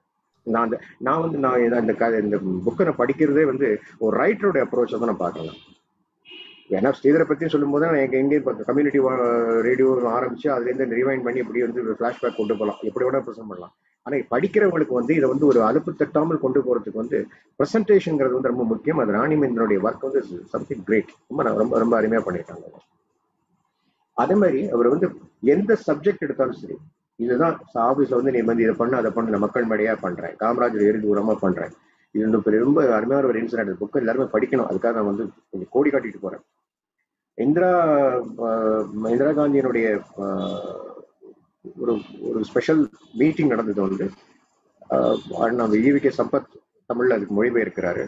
மீட்டிங் போயிட்டு இருக்கு. இவருக்கு டெல்லியில இருந்து நியூஸ் ஃபீட் கேட்கறாங்க லைவ் போயிட்டு இருக்கு. பிஎம் பேசிட்டு இருக்காங்க லைவ் போயிட்டு இருக்கிறத வந்து அந்த இடத்துல வந்து கரெக்டா அவங்க பே- அவங்க பேசுறது மட்டும் இங்கிலீஷ் இது வெர்ஷன்ஸ் மட்டும் அப்பப்போ அப்பப்போ அப்பப்போ வந்து எடிட் பண்ணிட்டு அதெல்லாம் இது பண்ணி கொடுத்துட்டே இருந்துட்டு டெல்லி நியூஸ் போறதுக்கு வந்து அவங்க மேடையில இங்க பேசிட்டு இருக்காங்க பட் டெல்லியில வந்து நியூஸ் வந்து பிஎம் ஸ்பீக்ஸ் போட்டு அந்த கிளிப் அங்க போற அளவுக்கு பண்ணிட்டாரு. இது அந்த டீட்டெயில்ஸ் வந்து டாக்டர் ஸ்ரீதர் வந்து எக்ஸ்பிளைன் எப்படி இதை வந்து மேனேஜ் பண்ணாங்கிற சில விஷயங்கள் வந்து அவர் அவரே நேரேட் பண்றதுக்கான ஒரு ஸ்கோப் இருக்கு. அதை நான் request doctor Sridhar to narrate on this இருக்கேன் இல்ல என்ன முடிச்சுக்கணுமா நீங்க நீங்க முடிச்சிருங்க அப்புறம் சரி ரைட் ஓகே அதே மாதிரி கம்பன் விழா ஆகட்டும் கம்பன் விழாவுக்கு போறதுக்கு இவருக்கு இலக்கியம் தெரியாது இவருக்கு என்ன பண்ணுவாரு ஏன் இலக்கியம் தெரியாது? தமிழ் தமிழ் குடும்பம் தமிழ் படிச்சவர் தமிழ் பாரம்பரியம் உள்ள குடும்பம். அது மாதிரி இலக்கியங்கிறது நம்ம தனியா வந்து எம்ஏ லிட்டரேச்சர் படிச்சுட்டு வந்தா தான் அதை பத்தி ஒரு நிகழ்ச்சி பண்ணணுமா? கிடையாது. கம்பன் விழா போ. எந்த ரெக்கார்டிங்காக இருந்தாலும் எங்கே போனாலும் நம்ம மாட்டேங்கிற வார்த்தை வந்து கிடையவே கிடையாது. கம்மன் விழா பண்ணி கொடுத்துருக்காரு. அதுக்கப்புறம் இன்னும் ஒரு எஃப்எம் பண்பலை ஒலிபரப்புன்னு ஒன்று ஆரம்பிக்கும் போது மீபா சோமு இசைப்பேரறிஞர் சீஃப் ப்ரொடியூசர் பண்பலைன்னு ஒரு வார்த்தை கொடுத்துருக்காரு. இவர் வந்து ஸ்ரீதர் அப்போ வந்து ஆஃபீஸுக்கு வந்த புதுசு ரொம்ப ஒரு இள ரத்தம். பண்பலை என்ன என்ன ஏஎம் அது வந்து அதுக்கு பண்பு இல்லாத நிகழ்ச்சி கொடுக்குறோன்னு அர்த்தமா? பண்பலை என்ன வார்த்தை அப்படின்னு. அது உடனே துறைவன் அந்த ஸ்டேஷன் டைரக்டர் வந்து அவருக்கு வந்து மீபா சோம குரு. ஐயோ நீ அண்ணாச்சி இருக்கும்போது நீ வந்து இந்த மாதிரிலாம் பேசக்கூடாது. நீ வந்து நீ அவர் என்ன சொன்னாலும் கெட்டு போ. என்ன சொன்ன இல்லை சார் அது சயின்ஸ்ல ஒத்து வராத விஷயம். அதை பற்றி நான் பண்பலைங்கிற வார்த்தை நான் இது பண்ண மாட்டேன். ஏஎம் பிஎம்ங்கிறதுக்கு வந்து நம்ம வந்து இது பண்ணி ஆகணும். எஃப்எம்ங்கிறதுக்கு வந்து நம்ம வந்து விளக்கம் சொல்லி ஆகணும். அந்த விளக்கம் வந்து சொல்லி கொடுத்துருக்காரு. விளக்கத்தை சொல்லி கன்வின்ஸ் பண்ணி இது பண்ணிருக்காரு. அதனால அவர் வந்து கம்பன் விழா பத்தி சொல்லும்போது ஒரு மேட்டர் அகிலன் தான் அந்த ஸ்போக்கன் வேர்ட் நிகழ்ச்சிகளுக்கு வந்து இன்சார்ஜ் வரும் அவர் வானொலி தொகுப்பு அப்படின்னு இருக்காரு. வானொலி வர்ணனைன்னு இருக்காரு. வர்ணனைனா நேரம் நடக்கும்போது நடக்கணும். நம்ம ரெக்கார்ட் பண்ணி மறுநாளைக்கு போடுறதுக்கு என்ன வர்ணனை சொன்னா எப்படி வர முடியும்? தொகுப்புன்னு தான் போடுவேன். வார்த்தைகள் வந்து அதுக்கு ஜஸ்டிஃபை பண்றதுக்கு வந்து அகிலன் ஞான ஞானபீடம் இப்போ வரல. அவர் சாகித்ய அகாடமி பெரிய எஸ்டாப்ளிஷ் ரைட்டர்னா கூட நீ யாரா இருந்தாலும் சொல்லி நான் சொல்றதுல வந்து இந்த மீடியால வந்து சொல்லும்போது இந்த நிகழ்ச்சிக்கு என்ன தலைப்பு கொடுக்கணும் எந்த மாதிரி அனௌன்ஸ்மெண்ட் பண்ணுங்கிறது என்னுடைய உரிமை நான் தான் பண்ணுவேன். இதுதான் நடக்கும். இதை ஜெயிச்சு காமிச்சார். இதுக்கு ஒரு வகையில வந்து இந்த இந்த மாதிரி ஒரு முரட்டத்தனத்துக்கு வந்து எனக்கு ஸ்ரீதர் எனக்கு வந்து எனக்கு வழிகாட்டின்னு சொல்லலாம் தொலைக்காட்சியில் தொலைக்காட்சியில இங்க நாங்க ரெண்டு பேரும் வேலை பார்க்கும்போது சில விஷயங்கள்ல வந்து நான் நிறைய நிறைய மோதி இருக்கோம் ஆனா நிறைய சப்போர்ட் பண்ணியிருக்காருங்க இங்க. அதையும் நான் இந்த இடத்துல நான் வந்து ரொம்ப நன்றியோட நான் வந்து நான் பதிவு பண்றேன். கிராம வானொலி அறிவியல் அரங்கம். அறிவியல் அரங்கம்ங்கிற ஒரு கான்செப்ட் வந்து ஸ்ரீதர் இன்ட்ரோடியூஸ் பண்ணது. ஒவ்வொரு ஊர்லயும் ந- நடக்கும் விழா நடக்கும். பொதுவாகவே கவர்மெண்ட் ஆஃபீஸ்லேருந்து ஒரு கவர்மெண்ட் இன்ஸ்டியூட்லேருந்து ஒரு ஃபங்க்ஷன் நடத்துறா இருந்தால் முதல்ல வந்து ஃபினான்ஷியல் சாங்ஷன் கொடுக்க மாட்டாங்க. அப்படியே கொடுத்து எதாவது பண்ணா கூட நாளைக்கு அது முடிஞ்சு பின்னால் ஒரு ஒரு- வருஷம் அது என்ன நடந்ததுன்னு மறந்து போகிறதுக்கு அப்புறம் அந்த ஆடிட் வந்து கேட்பான் ஆட்டோ வந்து சார்ஜின்னு போட்டிருக்கேன். ஆட்டோவுக்கு வந்து அந்த ஆட்டோ நம்பர் கொடுக்கலையேம்பா கோயம்புத்தூர்ல போய் எங்க ஆட்டோ நம்பர் தேடும் இந்த மாதிரி சில இது சின்ன சின்ன சின்ன சின்ன இல்லை. நம்மளை வந்து நிம்மதியை குலைக்கிறதுக்கான விஷயங்கள் நிறைய நடக்கும். ஆடிட்ல இருந்து ஆரம்பிச்சு அப்ஜெக்ஷன்ல இருந்து வந்து பார்லிமெண்ட் கொஸ்டினுக்கு பதில் சொல்றதுல ஆரம்பிச்சு இத்தனைக்கும் மத்தியில அறிவியல் அரங்கம் ஒரு கான்செப்டை கொடுத்து வெவ்வேறு இடங்கள்ல இருந்து வெவ்வேறு ஊர்களில் வந்து சக்சஸ்ஃபுல்லாக நடத்தி காமிச்சிருக்கார். அவருடைய கான்ட்ராக்ட்ஸ் பாத்தீங்கன்னா பி எஸ் சர்மா ஸ்பீக்கராக இருந்தவர். அப்துல் கலாம். பிரசிடென்ட் ஆகிறதுக்கு முன்னால உள்ள அவருடைய ரொம்ப நெருக்கமான பழக்கம். அதே மாதிரி VC vice chancellor VC Kuzhandaisamy Balagurusamy எல்லாம் அவரு- அவருடைய சர்க்கிள் அவர் யார பேர் சொன்னாலும் சொன்னாலும் இந்த கிளாஸ்மேட் சொல்ற மாதிரி சொல்லிட்டு இருப்பாரே தவிர இல்ல அவருடைய இப்ப நானும் பழகியிருக்கேன் இந்த புக்லயும் அந்த மாதிரி ரெஃபரன்ஸ் வருது. எல்லா ஸ்டால்வர்ட்ஸோட தான் பழகியிருக்காரு. அத்தனை பேரும் ஃபைனல் வேர்டு வந்து ஸ்ரீதர் என்ன சொல்றாரு கேட்டுப்போம். ஏன்னா அவர் சொல்றது கரெக்டா இருக்கும் அப்படிங்கிற ஜட்ஜ்மெண்ட்டுக்கு அங்க பெரியவங்களாம் வந்தாச்சு. அந்த அளவுக்கு வந்து இவருடைய பிரசன்டேஷனும் இவருடைய என்ன சொல்றது fairness in fair approach to the any this thing இந்த ரூல்ஸுங்கிறத நம்ம வந்து அப்புறம் ஃப்ரேம் பண்ணிக்கலாம் சார் ரூல்ஸை ரூல்ஸை ஃபாலோ பண்ணிகிட்டே இருந்தேன்னா நான் வந்து இன்னை வரைக்கும் சுதந்திரம் வந்திருக்காது அப்படிங்கிற அந்த அளவுக்கு ஒரு முரட்டத்தனமான ஒரு நினைப்பு உள்ள ம- மனுஷன் செய்தது அதனால தான் அவரோட சக்ஸஸ் காரணம். ஆனா எதுலையுமே வந்து அந்த நிகழ்ச்சி முடிஞ்சதுக்கு அப்புறமும் அதுக்கப்புறம் உள்ளது எந்த இன்னி வரைக்கும் நாற்பது வருஷத்து சர்வீஸ்ல ரேடியோ ஆகட்டும் இன்னும் ஆகட்டும் அவருடைய செம்காலே ஆகட்டும் இன்னி வரைக்கும் அவர் மேல எந்த வித இதுவும் கிடையாது. பெண்டிங் ஒரு ஒர்க்கு இல்லை பெண்டிங் என்கொயரி நடந்துட்டு இருக்கு ஒரு இதுவும் கிடையாது.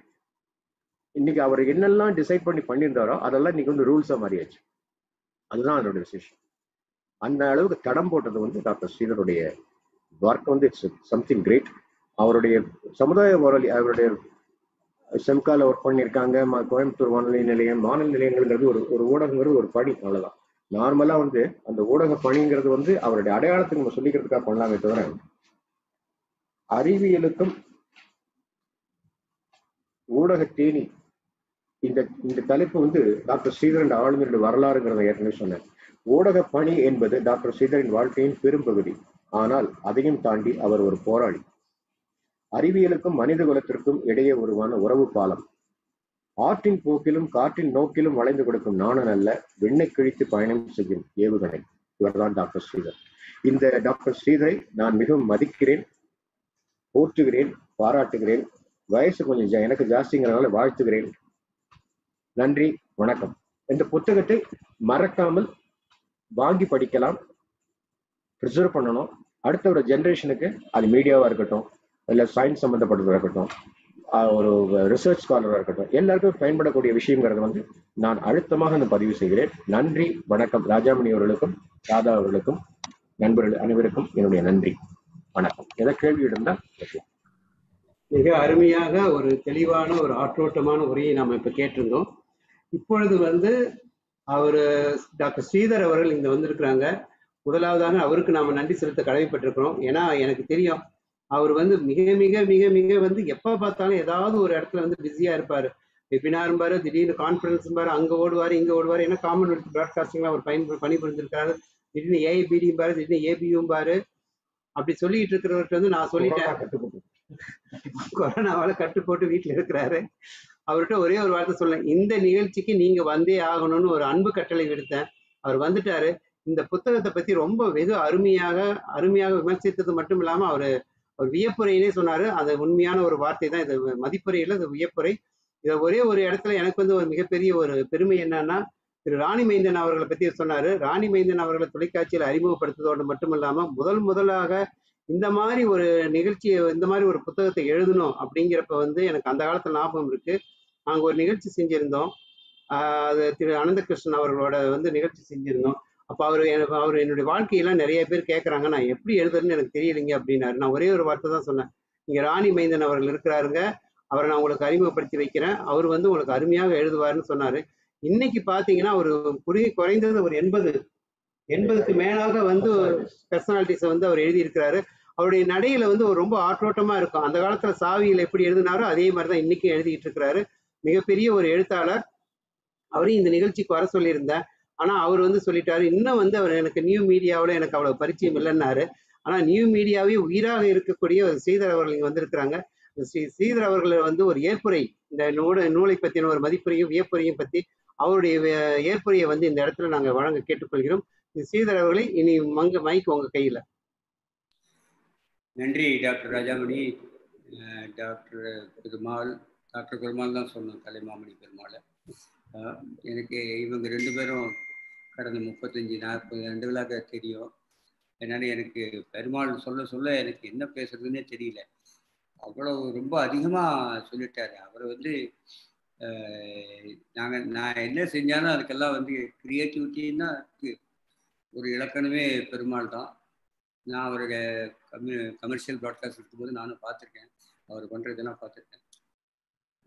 இவ்வளவுலாம் செய்தினானா அது என்னன்னா என்னுடைய ஆசை ஒன்றே ஒன்று தான் இந்த புத்தகத்தை ராணி மைந்தன் எழுதுறேன்னு சொன்னபொழுது அது கூட மிஸ்டர் ராஜாமணி சொல்லி தான் அதுக்கப்புறம் அட்ரஸே கிடைக்கல சோழா பொன்னுரங்கம் அவரை கூப்பிட்டு கேட்டு அட்ரஸ் கேட்டு ராணி மைந்தனை பார்த்து பேசினோம்.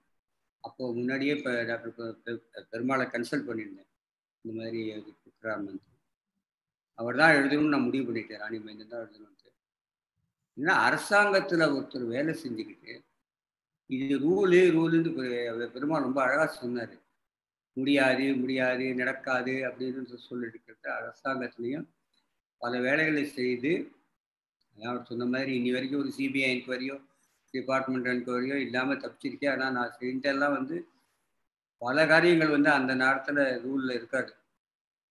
அதுக்கு நல்லபடியாக இது சொல்லிடுவேன். இப்போ இங்கே சென்னையில் இருந்தாலும் சரி டெல்லியில் இருந்தாலும் சரி அது காமன்வெல்த் லண்டனில் இருந்தாலும் சரி நான் சொல்கிறபடி ஏதோ என்னுடைய ஆர்குமெண்ட்ஸ் எல்லாரும் ஒத்துக்கிட்டாங்க. அது ஆண்டவனோட அருள் தான் நினைக்கிறேன்.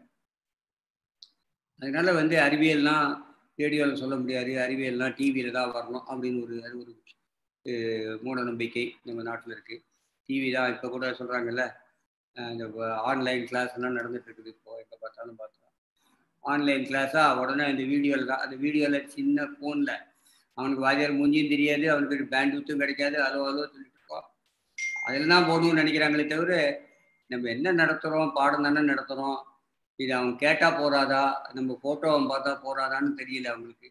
இன்றைக்கி அந்த வீடியோ மேலே அந்த வீடியோனா இது அவ்வளோ தொடர்கிறது இது மாதிரி சினிமா மாதிரி அழகாக எடுக்கணும் வீடியோ சும்மா ஒருத்த மூஞ்சி எத்தனை நாள் பார்த்துட்டு இருக்குது?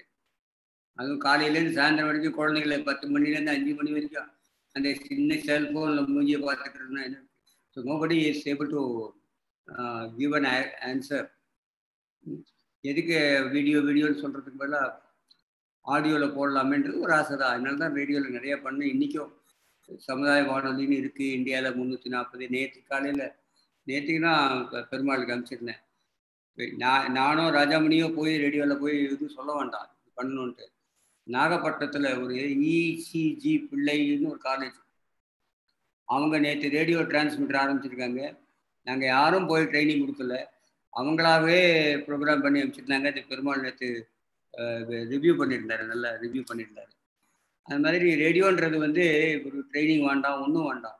மக்களுக்கு வந்து அந்த கிரியேட்டிவிட்டி இருந்தால் அது போதும் அப்படின்றது தான் என்னுடைய அந்த கருத்து நான் சொல்ல விரும்பினேன் அதைத்தான் ராணி மைந்தன் அவர்கள் வந்து நல்லபடியாக எழுதியிருக்காரு. ரொம்ப கஷ்டப்பட்டார் ராணி மைந்தன் நானும் ஒரு ஓராண்டுகளுக்கு மேலே அவர் பல முறை பார்த்துருக்கேன். அருமையான புத்தகத்தை கலைஞன் பதிப்பு கொண்டு வந்திருக்காங்க. அதுக்கு டை டைட்டிலே ஒரு முப்பது நாற்பது டைட்டில் சொல்லும்போது பெருமாள் கொடுத்த டைட்டில் தான் ஊடகத்தேனின்றது தான் நாங்கள் செலக்ட் பண்ணோம். அதனால் பெருமாளுக்கு ரொம்ப நன்றி. அவர் வந்து நான் தொலைக்காட்சியில் வரணும் வரணும்னு ஆயிரத்தி தொள்ளாயிரத்தி எழுபத்தி ஆறுலேருந்து தொலைக்காட்சிக்கு வரணும்னு ஆசைப்பட்டவன். எனக்கு அந்த இது வந்து ஆயிரத்தி தொள்ளாயிரத்தி தொண்ணூற்றி மூணில் தான் முடிஞ்சுது எனக்கு. தொலைக்காட்சிக்கு வர முடிஞ்சது. சென்னைக்கு இயக்குனராக வரவே முடியல. ஆனாலும் அதுக்கு ஈக்குவலாக சீஃப் ப்ரொடியூசர்னு வந்தபோது டாக்டர் ராஜாமணியும் பெருமாளும் தான் இருந்து ரொம்ப கை கொடுத்தாங்க. ஆகவே இந்த நிகழ்ச்சியை அரேஞ்ச் பண்ண டாக்டர் ராஜாமணிக்கும் உங்கள் டாக்டர் டாக்டர் ராதாக்கும் அதே மாதிரி இவ்வளோ என்னென்னமோ சொல்லிட்டாரு பெருமாள். என்னால் என்ன சொல்கிறதுனே தெரியல. பெருமாளுக்கு அவரோட புக்கை தான் நான் சொல்ல சொன்னேன். அந்த புக்கு ரிலீஸ் ஆகாமல் போயிடுது நேற்று புத்தக விழாவில் சென்னை புத்தக விழாவில் ஊரில் இருந்து சிகரங்களுடன் நான்ற புத்தகம். அதனால வந்து இப்போ ஒரு வரிசையாக வரிசையா கல்கியில் எழுதிட்டு இருந்தார் ஒரு தொடர். அதுதான் பண்ணலான்னு சொல்லிட்டு இருந்தேன். அவர் இந்த புக்கை பண்ணியிருக்காரு. ரொம்ப நன்றி. ரொம்ப நன்றி. மிக அருமையான ஒரு ஏற்புரை. இந்த நேரத்துல பாத்தீங்கன்னா எம் எஸ் பெருமாள் அவர்களுக்கு ஒரு சில அவர் மேல எனக்கு சின்ன ஒரு கோபமும் இருக்கு. இந்த இடத்துல நான் சொல்லிதான் ஆகணும். அவருக்கு வந்து அந்த காலத்துல வந்து இன்டெலெக்சுவல் ப்ராப்பர்ட்டி ரைட்ஸை பத்தி ஒண்ணுமே தெரியல. இன்னைக்கு பாத்தீங்கன்னா அந்த அவளோட தொடர்கதை ரிலீஸ் ஆன சமயத்திலேயே அவர் வந்து மல்டி மல்டி மில்லியனர் ஆயிருந்திருக்கணும். ஏன்னா அந்த கதை வந்து அவ்வளவு அருமையான கதை. எல்லா மொழியிலையும் செஞ்சிருந்தாங்க. இருந்தாலும் வந்து அவருக்கு அந்த காலத்துல வந்து அதை சரியா கவனிக்கலைங்கிறது வந்து நான் நிறைய மேடையிலேயே பேசியிருக்கிறேன். ஏன்னா ஒரு க- எழுத்தாளருக்கு வந்து மிகச்சிறந்தது என்னன்னா அந்த அந்த ஒரு அந்த அதுக்காக அவர் எவ்வளவோ எழுதியிருக்கிறாரு எவ்வளோ கஷ்டப்பட்டிருக்கிறாரு. அந்த உரிமை கூட அவருக்கு இல்லாமல் அந்த காலத்தில் போயிடுச்சுன்னு நினைக்கிறேன். ஏன்னா வந்து தமிழுக்கு கவனிச்சாங்க அதுக்கப்புறம் தெலுங்கு மலையாளம் தெலுங்கு கன்னடம் ஹிந்தியில வந்து எந்த அளவுக்கு கவனிச்சாங்கன்னு எனக்கு தெரியல. ஆனா வந்து ஒரு எழுத்தாளருக்கு தெரிய வேண்டியது வந்து ஐபி ரைட்ஸ். சொல்லுங்க சொல்லுங்க.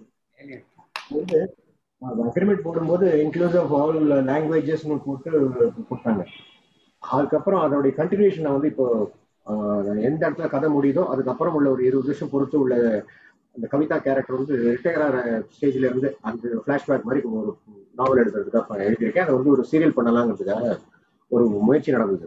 அப்போ இந்த ரைட்ஸை பத்தி பேச்சு வரும்போது ஒரு அட்வொகேட்டை கொடுத்து இந்த மாதிரி அந்த இதை நான் இதோட கண்டினியூஷனாக எழுதலாமா? இல்லை இந்த ரைட்ஸ் வந்து ப்ரொடியூசர் அரங்கங்களுக்கு மட்டும்தான் இருக்குமா அப்படிங்கிற மாதிரி நான் அவர்கிட்ட கிளாரிஃபை பண்ணும்போது அந்த வேர்டிங்ஸ் படிச்சவொடனே சொன்னார். You have only transferred the rights you not sold the rights அப்போ டிரான்ஸ்ஃபர்ட்னா அதுவும் கூட டு சோன் so to அரங்கனால் to produce in Tamil Telugu Malayalam etcetera etcetera etcetera இல்லை தமிழும் தெலுங்கு மட்டும்தான் அரங்கனல் சார் பண்ணாங்களே தவிர மற்ற லாங்குவேஜ் பூரா வித்துருக்காங்க. அதை வித்துனா அவங்க வேற யாரோ ப்ரொடியூஸ் பண்ணியிருக்காங்க அப்போ நான் வந்து கிளைம் பண்ணுறதுக்கான நம்ம கேட்டாங்க கைட்டு போட்டு கொடுத்தோம் ஐயாயிரம் ரூபாய். அந்த பேரில் ஐயாயிரம் ரூபாய். ஒரே ஒரு பெருமை என்னன்னா அதில் வந்து சுஜாதாவுக்கு நாலாயிரம் ரூபாய் கமலஹாசனுக்கு மூவாயிரம் ரூபாய் விஜயகுமாருக்கு ரெண்டாயிரத்தி ஐநூறு ரூபாய். ஐயாயிரம் ரூபாய் மேக்ஸிமம் பேமெண்ட் எனக்கு மட்டும்தான். அதனால அந்த கெத்துல வந்து நமக்கு வந்து எல்லாரோட நான் ஜாஸ்தி பணம் வாங்கினேன் அப்படிங்கிற மாதிரி அது அந்த திருப்தியோட இருந்து போயிட்டா நம்ம அப்போ வந்து இந்த ரைட்ஸ் நம்ம எழுதி கையெழுத்து போட்டு கொடுத்துருக்கோம். நம்ம அதுக்கப்புறம் கிளைம் பண்ணக்கூடாது அப்படிங்கிறனால தான் நினைச்சே தவிர பட் அதுக்கான ஒரு ஒரு ஒரு ரிவார்டு கிடைச்சது எப்படின்னாக்கா க- கிடைச்சதை நான் பயன்படுத்திக்க முடியல. அது வேற விஷயம். பாலச்சந்திர சார் வந்து நான் இப்போ உனக்கு ஒரு பிளாங்க் செக் கொடுக்குறேன்ப்பா. இது இந்த மூன்று முடிச்ச படம். தெலுங்குல இருந்து அந்த படத்தை வந்து ரெண்டு தடவை இங்க இந்த பக்கத்துல நம்ம கவுடியம்மன் பக்கத்துல ஒரு தியேட்டர்ல பார்த்தோம். ரெண்டு தடவை எனக்கு சர்மா அசோசியேட் டைரக்டர் வச்சு அவரும் டயலாக் எல்லாம் சொல்ல சொல்லி டிரான்ஸ்லேட் பண்ண சொல்லி அப்பப்போ நீ கதையை சொல்லிட்டு வான்னு சொல்லி தெலுங்கு படத்தை பார்த்து எழுத சொன்னாங்க. அப்பதான் டெலிவிஷன் ஆரம்பிச்சு புதுசு எனக்கு வந்து இன்னைக்கு காலையில ரெக்கார்ட் பண்ணி சாயந்தரம் வந்து ஏறல போகுதுங்கிறது பெரிய பிரமிப்பா இருந்ததுனால நான் அதை பயன்படுத்திக்க முடியாம போச்சு. பாலச்சந்தர் கொடுத்து அவர் பாலச்சந்தர் கொடுத்தாரு எனக்கு ஒரு ஆஃபர் கொடுத்தாரு. நான் பயன்படுத்திக்க முடியல. அது பிகாஸ் நான் டெலிவிஷன்ல வந்தேன் அப்படிங்கறதுனால. அதை விட்டுட்டு நான் வந்து டெலிவிஷன்ல வராமல் நான் அவர் பின்னால நான் போயிருந்தேனாக்கா இன்னைக்கு வந்து நான் காணாம போயிருப்பேன். ஐம்பது வருஷம் நான் சர்வீஸ் அறுபது வருஷம் எனக்கு முடிஞ்சதுக்கு அப்புறம் பதினஞ்சு வருஷம் பொறுத்தும் இன்னைக்கு வந்து எனக்கு ஒரு அடையாளம் கிடைச்சிருக்கு. இப்போ டாக்டர் ஸ்ரீதருடைய இன்ஃப்ளூயன்ஸ்னால நான் வந்து சமுதாய வானொலின்னு என்னன்னு தெரிஞ்சுக்கிறதுக்கு ஒரு சான்ஸ் கிடைச்சிது ரெண்டு மூணு ஸ்டேஷன்ஸ்க்கு வந்து நம்ம ஆரம்பிச்சு அதுக்கு வந்து ப்ராஜெக்ட்ஸ் பண்றதுக்கோ அல்லது ரெண்டு வருஷம் மூணு வருஷம் ஸ்டேஷன் மேனேஜர் ஒர்க் பண்றதுக்கோ இன்னைக்கு நான் ஆக்டிவா இருக்கிறதுக்கு காரணம்? அதே மூணு கம் சமுதாய வானொலியில போய் அதுல மூணுக்கும் நேஷனல் அவார்டு வாங்கி தேசிய அவார்டு இந்த வயசுலயும். எனக்கு தொலைக்காட்சியில வந்து எனக்கு எனக்கு எந்த நிகழ்ச்சியும் வந்து நேஷனலுக்கு அனுப்பாததுக்கு சில சில காரணங்கள் இருந்தது. யார் வந்து இப்போ மேல இருக்காரோ அவரை வந்து அப்படி வாங்கி தூக்கி வச்சுட்டு போயிட்டாரு பேசாம. அதனால கிடைக்கலைங்கிற எனக்கு வருத்தம் தான். ஆனால் அது அதுக்கு ஈடு கட்டுற மாதிரி இப்ப டாக்டர் ஸ்ரீதர் சொன்ன மாதிரி நேஷனல் அவார்டு இது வரைக்கும் ஒரு சமுதாய வானொலிக்காக பண்ண ப்ரொடக்ஷன்ல ஆறு அவார்டு வந்திருக்கு. ரெண்டாயிரத்தி பத்து ரெண்டாயிரத்தி பதினொன்று ரெண்டாயிரத்தி பதினாலு ரெண்டாயிரத்தி பதினஞ்சு ரெண்டாயிரத்தி பதினாறு. ஒரு வருஷத்துல ரெண்டு. ஒன்று செம்கா அவார்டு ஒன்று அந்த மாதிரி. விஷயம் இது. நமக்கு வந்து கிடைச்சது வந்து ஒரு ஆப்பர்ச்சுனிட்டி ஒரு ஆறுதல். ஒன்று ஒன்று கிடைக்கலன்னு நினைப்பா. உனக்கு வந்து ஆறு எடுத்துக்கோ அப்படிங்கிற மாதிரி. இந்த பத்து வருஷம் எனக்கு சர்வீஸ் கண்டினியூ ஆக்டிவா இருந்ததுனால தான். ஏன்னா நான் நோ ரெக்ரெட்ஸ் இப்போ சினிமா பின்னால் நம்ம போனோம். நம்ம வந்து ஒரு படத்துக்கு மேலே இப்போ ராஜாமணி சொன்ன மாதிரி கோடீஸ்வரனா இருக்கலாம்னு கூட அந்த கோடீஸ்வரனா ஆனவர்கள் எல்லாம் தொலைக்காட்சி வந்து இந்த படத்தை இந்த போடுங்க தம்பி. ஒரு பத்தாயிரம் ரூபா வந்ததுன்னா எனக்கு வந்து என் குடும்பத்துக்கு நல்லா இருக்கும்னு சொன்ன காலமும் நாங்க பார்த்திருக்கேன் நான். அதனால சினிமாவை நிரந்தரம் அல்ல. இது வந்து நமக்கு வந்து இன்னைய வரைக்கும் நமக்கு வந்து பேர் போட்டுட்டு பேர் மட்டும் இல்லாம சோறு போட்டுட்டு இருக்கிறதும் இதே என் டெலிவிஷன் தான். So happy about thank you doctor Sridhar அவர்கிட்ட ஒரு சில கேள்விகள். மற்றவர்கள் கேட்பதற்கு முன்னாடி நானே கேட்டலாம்னு நினைக்கிறேன் ஏன்னா அவர் எங்க போனாலும் ஏதாவது ஒரு புரட்சி செஞ்சிருவாரு புரட்சி திலகம்னே அவருக்கு ஒரு பட்டம் கொடுத்துருக்கலாம்னு நினைக்கிறேன். ஏன்னா வந்து ஒரு கவர்மெண்ட் ஆபீஸ்ல மேஜர் நாராயணன் எல்லாம் இங்க இருக்கிறாங்க. ஒரு கவர்மெண்ட் ஆபீஸ்ல இருந்துகிட்டே வந்து எதை செஞ்சாலும் வந்து ஒரு நேர்முறை இது மாதிரிதான் விதிமுறை இருந்தா கூட அதை எப்படி வேணாலும் உடைக்கலாம் அது எப்படி வேணாலும் செய்யலாம். ஆனா அதுலயும் வந்து ஒரு ஒரு விதிக்கு உட்பட்டு செய்வேன் அப்படின்னு வந்து சொல்லுவாரு. அப்படி ஒண்ணும் முடியலன்னா அந்த இடத்த விட்டு போயிட்டு வேற ஏதாவது வேறு வேலைக்கு போயிடுவாரு. மறுபடியும் வருவாரு. அந்த மாதிரி அந்த தில்லுன்னு சொல்லுவாங்கல்ல அந்த தில்லு வந்து அவருக்கு எப்படி வந்தது? அது சின்ன வயசுல இருந்தே வந்ததா? இல்ல அந்த புத்தகத்துல எழுதி இருக்கிறாங்களா என்னன்னு எனக்கு தெரியல. அந்த தில் திடீர்னு வந்து இங்க இருப்பாரு திடீர்னு அங்க போவாரு ஒருத்தர் யாராவது ஒண்ணு சொல்லுனாலும் உடனே வந்து வேலையை விட்டுட்டு போயிடுவாரு. இப்ப இருக்கிற இளைஞர்களுக்கு வந்து ஸ்ரீ ஸ்ரீதர் அவர்கள் வந்து அவர் மாதிரியே இருக்கணுமா?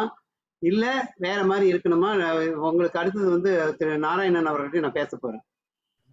ஒரு செகண்ட் அது அந்த இது நான் அப்சர்வ் பண்ணதுக்கு ஒரு வரி எழுதினேன். அதை எனக்கு ஞாபகப்படுத்த நன்றி. சொன்னேன் நினைக்கிறேன். ஆற்றின் போக்கிலும் காற்றின் நோக்கிலும் வளைகிற நாணர் அல்ல. விண்ணில் பாயும் ஏவுகணை. ஏவுகணை. அதான் செய்து அவருடைய பதில் என்ன? நன்றி. என்ன ஆச்சுன்னா இது சின்ன வயசுல எனக்கு தாம்பரத்தை தவிர ஒண்ணுமே தெரியாது. தாம்பரத்துலயே படித்தேன் தாம்பரத்துலயே பிஹெச்டி பண்ணேன். ஒன்றாம் கிளாஸும் தாம்பரத்தில் தான் ஒரு க கவர்மெண்ட் ஸ்கூலில் தான் படிச்சேன்னு வச்சுக்கோங்களேன். தமிழ் மீடியத்தில் தான் பரமக்குடியில் தான் பிஹெச்டி எஸ்எஸ்எல்சி பண்ணேன். அப்படியே இருந்தது. எப்படியோ போய் வேறு வேலைக்குன்னு போயிட்டோம். வேலை வேணும்னு கேட்குறேன் பிஹெச்டி பண்ணிட்டு. அவர் சொல்கிறாரு மெட்ராஸ் கிறிஸ்டின் காலேஜில் அவர் சொல்கிறாரு இல்லை இல்லை எனக்கு வேற ரிசர்ச் ஸ்டூடெண்ட்ஸ் வேணும். நீ எங்கேனா போய் வேலை பார்த்து போட்டார் வீட்டில் ரொம்ப கஷ்டமான நிலைமை. வேறு எனக்கு தமிழ்நாட்டிலேயே வேறு இடத்துல போய் வேலை போகணுன்னு கூட தெரியல எனக்கு. இங்கே வேலை கிடைக்கணும். தாம்பரத்தை தவிர சென்னையை தவிர வேறு ஒன்றும் தெரியாது. அந்த நேரம் தான் ஒரு கண்ணன் ஒரு பத்திரிகை இருந்தது. கண்ணன் கலைமகள் மஞ்சரின்னு மூணு பத்திரிகை வரும். கண்ணன் சிறுவர்கள் பத்திரிகை மஞ்சரி என்று ஒரு கதம்ப பத்திரிகை கலைமகள் வந்து ஒரு தீவா ஜெகநாதன். அந்த குரூப்பில் கண்ணன் ஆசிரியர் வந்து என்னப்பா ரொம்ப கஷ்டப்படுறியா? அப்படின்னாரு. ஆமாம் கஷ்டப்படுறேன். என்ன சரி உனக்கு தானே எழுதேன். மாணவர் உலகின்னு எழுதினார் அப்போ எழுதேன்னு சொல்லிட்டே இருக்கும்போது சரி எனக்கு பத்து ரூபா கொடுப்பாரு. அது என்ன என் கிளாஸ்மேட் எவனா இருப்பான்? மலேசியாலேருந்து வந்திருப்பான் கிறிஸ்டின் காலேஜில் ஒருத்தர் பிஜி இல்லைன்னு வந்திருப்பான். அவனை பார்த்து ஒரு ரெண்டு நிமிஷம் பேசி எழுதி கொடுத்தோம்னா அது ஒரு பத்து ரூபா வரும். மாதம் அஞ்சு நாற்பது ரூபா முப்பது ரூபா வரும். அப்புறம் அவரே தான் என்னை இன்ட்ரடியூஸ் பண்ணி விட்டாரு. சுதேசமத்தில் எழுத சயின்ஸை பற்றி எழுதுறீங்க அதுக்கப்புறம் கொஞ்சம் இந்த தில்லுன்னு சொன்ன மாதிரி திமிரு வந்துருச்சு. நம்மளும் பிஹெச்டி பண்ணியிருக்கோம் கெமிஸ்ட்ரி ரெண்டு பேருக்கு டீ ஒன்றும் வேலை கிடைக்கலன்னா நாலு பேருக்கு டியூஷன் கிடைச்சா முந்நூறுரூவா நானூறுரூவா வந்துடும் அதனால் இருக்கிற இருக்கிற போது நல்லபடியாக பண்ணுவோமேன்ட்டு போனேன். அந்த ஏஆர் கிருஷ்ணமூர்த்தி கொடுத்த தைரியம் இருக்குது பா நீ வந்திருக்கிய ஒரு இதெல்லாம் பண்ணுவியா? ஒரு டேப் ரெக்கார்டர் வாங்கிட்டு வாய அப்படின்னாரு. அந்த காலத்தில் ரேடியோவில் வந்து வெளி ஆளுங்களோட டேப் ரெக்கார்டில் போய் ரெக்கார்ட் பண்ண மாட்டாங்க. யாராலும் பண்ணி கொடுத்தா கூட வேண்டான்டுவாங்க அப்படி வாங்கி கொடு என்ன அந்த மாதிரி அவங்களாம் கொடுத்த தைரியத்தில் தான் வந்தேன். அதுக்கப்புறம் ஒரு வேலையில் வந்து விட்டுட்டு எத்த பதினேழு தடவை வேலை மாறியிருக்கேன். மூணு தடவை ஆல் இண்டியா ரேடியோ விட்டு ரிசைன் பண்ணிட்டு ரிசைன் பண்ணிட்டு திருப்பி ஆல் இண்டியா ரேடியோ தூர்தர்ஷனுக்கு வந்திருக்கேன். அதே மாதிரி இவர் சொன்ன ராஜாமணி சொன்ன மாதிரி ரொம்ப பிடிக்கலையா? மூணு மாதம் நோட்டீஸை கொடுத்து ரிசைன் பண்ணிவிட்டு ஆடிட்டு கிட்டிட்டுலாம் பண்ணி சிஐஜி ஆடிட் வரைக்கும் பண்ணிவிடுவேன் அதுக்கப்புறம் என்னை யாரும் ஒன்றும் பண்ண முடியாது. சிஐஜி ஆடிட் வரைக்கும் பண்ணி ஸ்பெஷலாக சிஐஜியில் யாருக்கான்னு தெரியும் தெரியும் சார் எங்களுக்கு ஆடிட் பண்ணுவேன் நான் அவ்வளோ செலவு பண்ணிருக்கேன். அஞ்சு வருஷமா அப்படின்னு ஆடிட் பண்ணி ரிசல்ட் வாங்கி கொடுத்துட்டு போயிடுவேன். அந்த தைரியம் எப்படியோ வந்துச்சு எனக்கு. அதனால இப்போ கூட தான் ஐடியில் இருக்கிறவங்களாம் முதல்ல இப்போ இல்லை ஒரு பத்து வருஷம் முன்னாடி வரைக்கும். ஒரு ரெண்டு வருஷம் இருப்பாங்க இன்க்ரிமெண்ட் வரைக்கும் அப்புறம் அதை வச்சுக்கிட்டு இன்னொரு கம்பெனிக்கு போவாங்க அப்புறம் திருப்பி அதே கம்பெனிக்கு வருவாங்க. இப்போ இளைஞர் காலத்தில் தான் பண்ணிட்டு இருக்காங்க. ஐடி படிக்கிற ஸ்டூடெண்ட்ஸ் எல்லாம் பார்த்தீங்கன்னா மூணு வருஷம் வேலை செய்வாங்க இன்ஃபோசிஸில் மூணாவது வருஷம் நல்ல ப்ரமோஷன் வந்து ஒரு பணம் வரும். அது வந்து ரெண்டாவது மாதம் காக்னிஷன் போவாங்க. அதுக்கப்புறம் ஒரு ஒரு மூணு வருஷம் கழிச்சு திருப்பி இன்ஃபோசிஸ்க்கு வந்துருவாங்க இந்த மாதிரி பண்ணிட்டு இருந்தேங்க. இப்போ தான் கொஞ்சம் ஸ்டெபிலைஸ் ஆகிருக்கு போல் ஐடியில் அதனால எல்லாரும் வந்து வேலையை வந்து நமக்கு திறமை இருந்ததுன்னா இதுதான் நான் படித்தது பிஹெச்டி இன்றைக்கி நான் ப்ரொஃபஸர் ஆஃப் மாஸ் கம்யூனிகேஷன்றாங்க நான் பண்ணது கெமிஸ்ட்ரியில் இன்றைக்கி ஆறு ஆறு பிஹெச்டி மாஸ் கம்யூனிகேஷனில் வர வச்சுருக்கேன். அதுலேயே யூஜிசியை நான் அப்ரூவ் பண்ணியிருக்கேன். ஏன்னா இருபத்தைந்து ஆண்டுகள் பேசிக் பிஹெச்டி பண்ணியிருக்கேன். இருபத்தைந்து ஆண்டுகள் மீடியாவில் ஒர்க் பண்ணிருக்கேன் என்னால் டீச்சிங்கில் இருக்குது என்னால் இவரை கைடுன்னு சொல்லி இப்போ இப்போ கூட ரெண்டு பேர் பண்ணிட்டு இருக்காங்க பிஹெச்டி அதனால நம்ம வந்து ஒரே இதில் பிஹெச்டி பண்ணிட்டோம் கம்பெனியில் தான் வேலைக்கு போகணும் இல்லை இப்போ கெமிஸ்ட்ரி தான் வேலை செய்யணும்னு நினைக்கக்கூடாது. நம்ம வந்து என்ன கிடைக்குதோ அதில் பண்ணிட்டு போக வேண்டியதுதான். ஸோ மீடியாவில் போனவுடனே நான் வந்து அப்போல்லாம் பிஹெச்டியே கிடையாது. இப்போ நிறைய பேர் இருக்காங்க பிஹெச்டி எல்லாம். ராஜாமணிக்கு தெரிஞ்சிருக்கும்னு நினைக்கிறேன். அப்போல்லாம் ரேடியோவில் வந்து ஒரே பிஹெச்டி தான் நான் தான். சென்னை வானொலி நிலையத்தில் ஸோ அப்போ ஒரு டாக்டர் டாக்டர்னு மதிப்பாங்க. அப்போவே சொல்லிட்டேன் நான். நீ தெலுங்கு ப்ரோக்ராம் பண்ணாலும் சரி கன்னட ப்ரோக்ராம் பண்ணாலும் சரி சான்ஸ்கிரிட் ஆப் பண்ணாலும் சரி ட்ராமா பண்ணாலும் சரி சயின்ஸுன்னு வந்துருக்குன்னா அது என்ன தான் கேட்கணும். அதுக்கு இந்த எம்எஸ் கோபால் துறைவன் அவங்கெல்லாம் ஹெல்ப் பண்ணாங்க. What ever you want to do you do இட்னு சொன்னாங்க. அதில் இன்னொரு திமிர் என்னன்னா இங்கே நான் பண்ணிட்டு இருக்கோம் இவங்களுக்கு பிடிக்கலன்னு வச்சுங்க ஹக்கீம்னு ஒரு ஸ்டேஷன் டைரக்டர் அசிஸ்டன்ட் டைரக்டர் இருந்தார் சென்னையில். அவர் சொல்லுவார் பாருப்பா நீ எதனா ப்ரொபோசல் போட்டு இந்த டைரக்டருக்கு பிடிக்கலன்னு வச்சுங்க டைரக்டர் என்னைக்கு லீவில் போகிறாரோ அன்றைக்கி நான் தான் ஆக்டிங் டைரக்டர் என்கிட்ட கொண்டா கையெழுத்து வாங்கிக்கணும் இவங்க இவங்க சொல்லி கொடுத்தது தான் எனக்கு. டைரக்டர் போ அப்படியே அவர் என்னைக்கெல்லாம் டூரில் போகிறாரோ எம்எஸ் கோபால் அப்போல்லாம் போய் அகீம் கிட்ட அப்ரூவ்டு அப்படின்னு கையெழுத்து வாங்கிட்டு வந்துடுவேன் அப்புறம் ஒரு மூணு நாலு மாதம் கழிச்சு தான் எம்எஸ் கோபாலுக்கே தெரியும். ஐயோ இப்படிலாம் பண்ணுறானே யார் அப்ரூவ் பண்ணான்னு கேட்பாரு அப்புறம் ஸோ அந்த மாதிரி அப்போவே தைரியம் கொடுத்துட்டாங்க. என்ன வேணால் பண்ணிடலாம். அதை ஜஸ்டிஃபை பண்ணிக்கலாம் அப்படின்றது நிறைய பண்ணும் கடைசியாக ஒன்றே ஒன்று சொல்லணும். இந்த ராஜாமணிக்கும் தெரியும்னு நினைக்கிறேன். பெருமாள் இந்த நாட்டுப்புற கலை விழான்னு சொல்லிட்டு ஒரு எல்லாருக்கும் சொ ஒரு கதை தான் அது. சின்ன டூ மினிட்ஸில் சொல்கிறேன் நான் வந்து ஒரே ஒரு ஆண்டு தான் சென்னை தொலைக்காட்சியில் ஒர்க் பண்ணேன். சீஃப் ப்ரொடியூசராக நான் கல்கத்தாலலாம் டைரக்டராக இருந்திருக்கேன் தூர்தர்ஷனில். டெல்லிலையும் இருந்திருக்கிறேன். ஆனால் வந்து ஒரு வருஷம் பண்ணும்போது நான் சொன்ன பெருமாள் யூஎம் கண்ணன் எல்லாம் வந்தபோது சார் எப்போ பார்த்தாலும் இங்கிலீஷ் நியூ இயர் ஒன்றாந்தேதி ஜனவரி மாதம் ராத்திரி பூரா ப்ரோக்ராம் பண்ணுறோம் இது டிவியில் பன்னெண்டு மணிக்கு வாழ்த்துக்கள் சொல்கிறோம் சார். எந்த தமிழ் புத்தாண்டுக்கு எதாவது பண்ணால் நல்லா இருக்குமே? அப்படின்னு. தமிழ் புத்தாண்டுக்கு என்ன நல்லா இருக்குமேன்னா என்ன சொன்னேன்? சரி பூம்புகாருக்கு போவோம். அங்கே போய் ஃபுல் நைட்டு வந்து எல்லா ஃபோக் ஆர்டிஸ்டையும் கூப்பிட்டு வந்து ஃபோக் பண்ணது சொல்லுவாங்க. நைட்டு ஃபுல்லாக தமிழ் புத்தாண்டுக்கு அப்படின்னு. அதை எங்கள் இயக்குநர்கிட்ட போட்டு இதெல்லாம் ஓபி வேன்லாம் எடுத்துகிட்டு போகணும். சேட்டலைட் கனெக்ஷனாக இருக்கும். எல்லாம் காசு கிடையாது அப்படின்னாரு. சரி வேணாம் சார் தீவு திடலில் பண்ணுவோம் அப்படின்னு. இப்போ எல்லாம் பெருமாளுக்கு தெரியும். தீவு திடலில் அதுவும் முடியாது அப்படின்னாரு. ஏன் நான் பண்ணியே தீருவேன். நான் சீஃப் ப்ரொடியூசர் உங்களை பர்மிஷன் கேட்க வேண்டாம். பெருமாள் இதான் பார்த்துக்கிறாரு ஃபோக் மியூசிக் பெருமாள் பார்த்துப்பார் யுவம் கண்ணன் பார்த்துப்பான்னு சொல்லிட்டு தூர்தர்ஷன் ஸ்டூடியோலேயே பண்ண வச்சுட்டோம். அது சுற்றி சுற்றி அவர் ஒரு ஆயிரம் ஆயிரம் கலைஞர்கள் கூப்பிட்டோன்னு நினைக்கிறேன் அன்றைக்கி ஒரு நைட்டு ஆயிரத்தி தொள்ளாயிரத்தி தொண்ணூத்தாறுன்னு நினைக்கிறேன். தமிழ் கொடுத்தாருலே அப்புறம் ஒரு இருபது இருபத்தஞ்சு லட்சம் ரூபா செலவாயிடுச்சு. எங்கே போ அப்போல்லாம் எவ்வளோ வேணாலும் போடலாம் கவர்மெண்ட் தானே நாங்கள் செலவு பண்ணிட்டு பின்னாடி வாங்கி போகணும்னு வச்சுங்களேன் அப்போ வந்து நம்ம வசந்தன் கோ அண்ணாச்சி வந்திருந்தாரு. அவர் வந்து என்னங்க என்ன பண்ணிட்டு இருக்கீங்க அப்படின்னாரு. இந்த மாதிரி நாட்டுப்புற கலை விழா போடுறாங்க எவ்வளோங்க செலவாகுது? அப்படின்னாரு. இருபது லட்ச ரூபா செலவாகுது அப்படிங்க அப்போ நான் வேணால் ஃபுல்லாக ஸ்பான்சர் பண்ணுவான்ட்டாரு எனக்கு புரியல என்னடா ஸ்பான்சர் பண்ணுறாரு அப்புறம் பார்த்தா வசந்தன் கோவில் நாட்டுப்புற கலை விழான்னு அவர் பேர் அடிச்சுட்டு போயிட்டார். அதை மட்டும் பண்ணல. அவர் நேராக வந்து உட்காந்துக்கிட்டார் எங்க?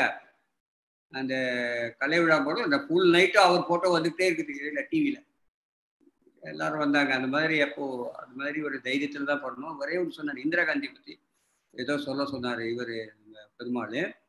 இந்த இந்திரா காந்தி அம்மையார் வந்து ரெண்டு காங்கிரஸும் இணைக்கிறாங்க. மெரினால மீட்டிங் ராத்திரி ஏழரை மணிக்கு ஆரம்பிக்குது. இபிகே சம்பத்து டிரான்ஸ்லேட் பண்ணுறாரு கடைசியில் ஒன்பதே கால் மணிக்கு சொல்கிறாங்க GK பொனார் is appointed as the Congress president of the ரெண்டு ரெண்டு காங்கிரஸும் இணைந்த காங்கிரஸுக்கு அவர் தான் தலைவர்னு அனௌன்ஸ் பண்ண போகிறாங்க அப்போ தான் அவங்க ஏழரை மணிக்கு ஆரம்பிக்கிறாங்க. இவிகே இப்போ கூட நேற்று கூட அமித்ஷா ஏதோ பேசின போது யாரோ த தப்பாக டிரான்ஸ்லேட் பண்ணிட்டாங்க. இவர் யார் ராஜா டிரான்ஸ்லேட் பண்ணிட்டாருன்னு அமித்ஷாவே சொன்னார். தப்பாக டிரான்ஸ்லேட் பண்ணுறாங்க அதனால இவிகே சம்பத்தால் இந்திரா காந்தியோட இது இருக்கு இல்லையா? தாங்க முடியல. இதை அவருக்கு பண்ண முடியல. தப்பு தப்பாக டிரான்ஸ்லேட் பண்ணிட்டு இருக்காரு. அவ்வளோ பெரிய அலமோதர கூட்டம் மெரினால நாங்கள் ரெண்டு பேரும் ரெக்கார்ட் பண்ணிட்டு அப்போ எப்போவுமே ரேடியோவில் ரெண்டு மூணு ரெக்கார்டிங் பண்ணுவோம் ஒன்று தனித்தனியாக இப்போ எம்எஸ் கோபால் பார்த்துட்டு இருக்கும்போது நான் சொன்னேன் சார் நல்ல முத்தூர் இருந்தார் டெல்லிக்கு கேட்குறாங்க நியூஸ் ரீடே கால் மணிக்கு என்ன வேணால் நம்புங்க. நான் வந்து கான்ட்ராக்ட்லலாம் இல்லை சும்மா தான் போய் வேடிக்கை தான் பார்த்துட்ருக்கேன் நம்புங்க ட்ரை பண்ணுறேன் என்னால் முடிஞ்சது அப்படின்னு அந்த அன்னப்பறவை பாலையும் நிதியும் பிரிக்கிற மாதிரி தனியாக இங்கிலீஷை தனியாக எடுத்து ஒரு ஏழு நிமிஷம் கொடுத்துட்டேன். எட்டே காலுக்கு போயிடுச்சு ரேடியோவில் அப்புறம் சொன்னாங்க சரி அப்புறம் எம்எஸ் கோபால் சொன்னார். ஒன்பதே கால் மணிக்கு நம்ம போட போகிறோம் இப்படியே தனித்தனியாக போட்டுவோம் யாரான்னு கேட்டாங்கன்னா நல்லா இருக்காது. டிரான்ஸ்லேஷன் தப்பாக இருக்குங்க ஸோ அப்படியே கொடுத்துக்கிட்டே இருக்கிற டேப்பு கடைசியில் ஒரு கடைசியில் ஒரு நிமிஷம் தான் இருக்குது அவங்க வந்து கதவை இடிச்சுட்டே இருக்கிறாங்க. டேப் கொடுங்கன்னு என்ன பண்ணேன்னா அந்த காலத்தில் இந்திரா காந்தி தும்மினா கூட அதை எடிட் பண்ணக்கூடாது.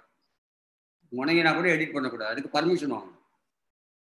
கடைசியில் பார்த்தேன் முடிக்கலைன்னா அசிங்கமாக போடும்னு சொல்லிட்டு கடைசியில் அந்த அம்மா சொல்லியிருந்தாங்க ஐ எப்பாயும் ஜிகே போக்குனா நல்லா கைத்தட்டலோட எடிட் பண்ணி விட்டேன் இந்திரா காந்தியை. கடைசி அஞ்சு நிமிஷம் ஸ்பீச்சை எடிட் பண்ணிவிட்டு யாருக்கும் தெரியாது. போயாச்சு ரெடியாக பண்ணிவிட்டு ராத்திரி வீட்டுக்கு போயிட்டேன். காலையில் காலேஜில் பிஹெச்டி பண்ணிட்டு காலேஜ் பிரின்ஸிபலுக்கு ஃபோன் கொடுத்து ஆல் இண்டியா ரேடியோவில் உடனே உன்னை வர சொல்கிறாங்க அந்த பிரின்ஸிபல் சரின்னு தாம்பரத்துலேருந்து ஓடினா ஒன்றும் இல்லை. ஈவிகே சம்பத் வந்தார். எங்களுக்கு ரொம்ப நல்லா இருந்ததுங்க. தேங்க்ஸு என்னை காப்பாற்றுறதுக்கு இப்போ இன்னைக்கு ராத்திரி என்னுடைய டிரான்ஸ்லேஷன் மட்டும் தனியாக போடுங்க நேற்று இந்திரா காந்தி பேசினுடைய தமிழாக்கத்தை இன்னைக்கு ஃபுல்லாக இந்திரா காந்தி பேச்சை கட் பண்ணிட்டு ஈவிகே சம்பத்தை மட்டும் அப்போ ரெண்டு பேரும் கம்பேர் பண்ண மாட்டாங்களே. அந்த போட்ட அந்த மாதிரி ஏதோ ஒரு அனுபவங்கள்லாம் இருந்துச்சு. கடவுளோட ஆசை தான் நான் சொல்லுவேன் வேற ஒன்றும் இல்லை. கடவுளோட இவங்களோட சப்போர்ட் தான். மிக அருமையாக சொல்லியிருக்கிறீங்க. நிறைய உங்கள்கிட்ட கேட்கலாம். ஆனா திரு எம் எஸ் பெருமாள் அவர்கள் உங்ககிட்ட ஒரு நேரடியாக ஒரு கேள்வி. ரொம்ப நாளா கேட்கணும்னு நினைச்சிட்டு இருந்தாரா? இப்ப கேட்கணுங்கிறாரு. நேரடியா கேள்வி. சொல்லுங்க சார். ஜி இப்போ ஸ்டுடியோல வந்து நம்ம ஒரு வாத்திய விருந்தா நடத்தலாம். சரி ஐம்பது இன்ஸ்ட்ருமெண்ட் ஐம்பது இசைக்கருவிகள் இருந்தா கூட ஒரு மைக் வச்சு ஒரு மைக் வைத்து உலகளந்தான் தஞ்சாவூர் எப்பவுமே இது பண்ணுவார் ஆல் இண்டியா ரெக்கார்டிங் பொறுத்த வரைக்கும். நீங்க வந்து மூணு ப்ரோக்ராம் உங்களுக்கு டிஃப்ரெண்டா நீங்க அந்த புக்ல படிச்சதுதான் எனக்கு ரொம்ப சர்ப்ரைஸா இருந்தது. வெவ்வேறு இடங்கள்ல இருந்து மவுண்ட் ரோட்ல மூணு இடத்துல மவுண்ட் ரோடு ஒரு இடத்துல வேற ஒரு இடத்துல இருந்து அங்கிருந்து ஒரு கேரக்டர் அங்கிருந்து பேசுவாங்க இன்னொரு கேரக்டர் இடத்துல டிராமா அது எப்படி நீங்க லைவ் நீங்க இது பண்ண முடிஞ்சது? அது ஒண்ணு. அப்புறம் எம்பி சீனிவாசன் வச்சு நீங்க மியூசிக் பண்ணும்போது பிலிப்பைன்ஸ்ல ஒருத்தர் மால்டீவ்ஸ்ல ஒருத்தர் அங்க ஒருத்தர் இங்க ஒருத்தர் அது அது மாதிரி டிஃப்ரெண்ட் லொக்கேல இருந்து ஒவ்வொருத்தரும் சொல்ற ரெண்டு ரெண்டு வரிகளை போட்டு ஓடி விளையாட பாப்பா பாட்டு. அது ஒரு மென்ஷன் ஒன்று இருந்தது. எனக்கு எனக்கு நினைச்சு பார்த்தா இது எப்படி உங்களால பண்ண முடிஞ்சது மீடியால அது அந்த பீரியட்ல அதாவது சார் சயின்ஸ் சயின்ஸ் ஆஃபீஸர்னு சொல்லிட்டாங்க. உலக தொலை தொலை தொடர்பு நாள் பதினேழாம் தேதி மே மாதம்னாங்க நார்மலாக என்ன பண்ணுவோம்? ஆல் இண்டியா ரேடியோலையோ தூர்தர்ஷன்லையோ அந்த ஜென்ரல் மேனேஜர் டெலிஃபோன்ஸை கூப்பிட்டு ஒரு இன்டர்வியூ பண்ணிவிடுவோம் இல்லைன்னா அவரை போட்டு பேச சொல்லிடுவோம். இன்று உலக தொலை தொடர்பு நாள். இல்லைன்னா மந்திரி பேசுவார் யாரோ பேசிட்டு விட்டுருவாங்க. சார் நான் எதான பண்ணணுமேனு எனக்கு இளந்தே ராமசாமின்னு ஒருத்தர் இருந்தார். தமிழ் சென்னை டெலிஃபோனோட பிஆர்ஓ ஒரு கவிஞர் அவர். அவர் சொன்னார் சார் எதனா புதுமையாக பண்ணுமேன்னு யோசிச்சுட்டு இருக்கும்போது நான் சொன்னேன். ஹீரோவை வந்து போர்ட்ரஸில் வேலை செய்கிறாரு ஹீரோ. ஹீரோயின் வந்து ஐஓபியில் வேலை செய்கிறாங்க மவுண்ட் ரோட்டில் வில்லன் வந்து இதில் அண்ணா யூனிவர்சிட்டியில் இருக்கார். நம்ம வந்து சவுண்ட் எஃபெக்ட்ஸ் வந்து ஸ்டூடியோவில் போடுவோம். ஒரு ட்ராமா போடுவோம் சார் அப்படின்னு. அதாவது டெலிஃபோன் இல்லைன்னா ரேடியோவும் தொலை டெலிவிஷனும் இல்லை. டெலி தொலைத்தொடர்பு இல்லைன்னா அப்படின்றத ப்ரூவ் பண்ணணும். ஒரு ட்ராமாவாக போட்டோம்னா உங்களுக்கு தெரியும். அது ஒரு ரெண்டு மூணு நாள் ரிஹர்சல் பண்ணோன்னு வச்சுக்கோங்களேன். ரெண்டு மூணு நாள் ரிஹர்சல் பண்ணிட்டு தான் போட்டோம் நாங்கள் அது ஒரு முதல் நாள் அது ரெக்கார்டட் ப்ரோக்ராம் தான். ரெக்கார்ட் பண்ணிட்டு எடிட் பண்ணி போட்டோம். ஸோ அடுத்த வருஷம் சொன்னாங்க ஏதாவது புதுசாக பண்ணுங்க அப்படின்னாங்க. பேப்பர்லலாம் வந்துச்சு. அப்போ வந்து செல்ஃபோனெல்லாம் கண்டுபிடிக்கப்படாத நேரம் இவர் சொன்னார் காமராஜ் ஊர்வலத்தும் போது நான் போலீஸ் கமிஷனரை போய் பார்த்து எனக்கு அந்த ஒரு போலீஸ் வண்டி எப்படியோ அந்த ஊர்வலத்துக்கு இது ஃபியூனரல் ப்ரொசஷனில் பின்னாடியே போவோம் போலீஸ் வண்டி. அதில் ஒரே ஒயர்லெஸ் வச்சுருப்பாங்க எமர்ஜென்சிக்கு சார் அங்கேயே எங்கள் கூத்தக்குறான் உட்கார வச்சுடுறேன் சார் எங்கள் இதில். நானாக அதை எடுத்த முடிவு தான் அது நான் ஆல் இண்டியாவில் ஜாயின் கூட பண்ணேன் அப்போ வச்சிடுறேன் சார் இந்த ஜெயங்கொண்டான் இருப்பார். மாறி மாறி கனெக்ட் கொடுப்பாங்கன்னு ஒன்று அவர் சொன்னார் எனக்கு ஒரே ஒரு கன்ஸ்டன்ட்டு ஆறு நிமிஷம்தான் அந்த வைரஸில் போடணும் இல்லைன்னா ஹீட் ஆகிடும் அப்புறம் இன்னொரு வைரஸ் ஆகும் சார் ஆறு நிமிஷத்துக்குள்ளே அவங்கள முடிச்சுக்க சொல்கிறேன் சார் சொல்லிட்டு. கோபால் எம்எஸ் கோபால்கிட்ட வந்து சொன்னேன் இந்த மாதிரி போலீஸ் வைரஸ் சார் பக்கத்து ஆஃபீஸ் தான் ஆல் இண்டியா ரேடியோக்கு பக்கத்தில் அவங்க ஹெல்ப் பண்ணுவாங்கன்னு. அது சயின்ஸு எப்படியோ காமராஜ் ஊர்வலத்தை அது பதிமூணு கிலோமீட்டர் ஊர்வலம் அதை வந்து இப்படி வயர்லெஸ் வச்சு பண்ணினோம். ஸோ எவ்ரி இயர் எதானே எதிர்பார்க்குறாங்க எங்கிட்டேன்னு வந்த உடனே டெலிகான்ஃபரன்ஸ் வித் பீப்புள் அந்த மூணு ரயிலில் போகும்போது பிளெயினில் போ இப்போ தான் ரொம்ப ஈஸியாக போச்சு. எல்லாரும் மொபைல் ஃபோன் அடிச்சிடுறாங்க. அந்த காலத்தில் ஏன் மொபைல் அதே மாதிரி ஒரு உரம் இன்னும் ஒரு இருபது ஆண்டுகளில் இந்த மாதிரி ஒரு சுச்சுவேஷன் வரும். கப்பலில் போகும்போது பிளெயினில் போகும்போது. ஸோ இந்தியன் ஏர்லைன்ஸை கூப்பிட்டு கேட்டேன் என்னென்ன. சார் உங்கள் பிளெயினில் போகிறவங்க பேசிட்டு போனாங்கன்னா பைலட் பேசுகிறாரு அது எப்படி மெட்ராஸ்லேருந்து பெங்களூர் போச்சுன்னா மெட்ராஸ் கண்ட்ரோல் ரூமும் கேட்குறாங்க பெங்களூரும் கேட்குறாங்க அங்கே பைலட் பேசுறதுக்கு பதிலாக எங்கள் ஆள் பேசுவார் சார் நாங்கள் மெட்ராஸ் ஏர்போர்ட்டில் சென்னை ஏர்போர்ட்லேருந்து நாங்கள் ரெகுலே எடுத்துக்கிறோம் சார் கனெக்ஷன் என்ன? அதே மாதிரி போர்ட்ரஸில் ஷிப்பு போயிட்டுருக்கு. அவங்க பேசுகிறத போர்ட்ரஸில் கேட்பாங்க அங்கேருந்து எடுத்துக்கிறோன்னு சொன்னேன். ஸோ அது சொன்ன உடனே எல்லாரும் ஒத்துக்கிட்டாங்க. அதுக்கப்புறம் கடைசி நாள் அன்றைக்கி எல்லாரும் முடியாடிட்டாங்க எங்கள் வயர்லெஸ் எல்லாம் கொடுக்க முடியாதுட்டாங்க உடனே டாக்டர் ராதாகிருஷ்ணன் ஒருத்தர் இருந்தார் போலீஸ் கமிஷனர் அவர்கிட்ட போய் கேட்டேன் எல்லா இடத்துலையும் போலீஸ் வயர்லெஸை கொண்டு வச்சுருவோம் சார். கப்பல்லையும் வச்சுருவோம் ரயில்லையும் வச்சுருவோம். கொயிலான் எக்ஸ்பிரஸ் சென்னை எக்மோர்லேருந்து கிளம்பி போயிட்டுருக்கு. அவங்க சொன்னாங்க அதுக்கு ரேஞ்சு இருபது மைல் தான் அப்படின்னாங்க. ஒரு பல்லவன் டிரான்ஸ்போர்ட் பஸ்ஸு கொடுத்தாங்க. பேக் இன்ஜின் வச்ச பஸ்ஸை அதுலேயும் போட்டு ப்ரெஸ்ஸாக அதில் தூக்கி போட்டு பண்ணிட்டேன். அப்போ வந்து அப்போ என்ன சொன்னேன்? Mobile communication will be the order of another twenty days இது நடந்தது ஆயிரத்தி தொள்ளாயிரத்தி எண்பத்தி நாலு. இன்றைக்கி மொபைல் கம்யூனிகேஷன் எல்லாருக்கும் வந்துருச்சு. அப்போ ரேடியோ ப்ரோக்ராம் ஆனால் அப்போ இருந்த டைரக்டர்ஸ் எல்லாம் எனக்கு வந்து டெல்லிக்கே சொல்ல மாட்டேன். அதுக்கப்புறம் பிபிசி கூட ப்ராட்காஸ்ட் பண்ணாங்க அன்றைக்கி நைட்டே அதை. என்னன்னா இங்கே ரெக்கார்ட் பண்ணி ப்ராட்காஸ்ட் பண்ணிட்டு ப்ரெஸ்ஸுக்கு முன்னாடி ஆனால் ப்ரெஸ்ஸுக்கெல்லாம் ஏமாத்துறதுன்னா எப்படின்னு எனக்கு தெரியும்னு வச்சுக்கோங்களேன். அதில் ரெண்டு மூணு பேர் எழுதிட்டாங்க பேப்பரில் ஒரு ஒரு என்னது நியூஸ் டுடேன்னு ஒரு பத்திரிக்கை வரும். அதே மாலை அவங்களதே மாலை மலர் இருக்கும். அதில் வந்து வானொலியின் சாதனைன்னு போடுவான். இந்த All India Radio ignorance and innocence இப்படி பண்ணாங்கன்னு எழுதுவான்.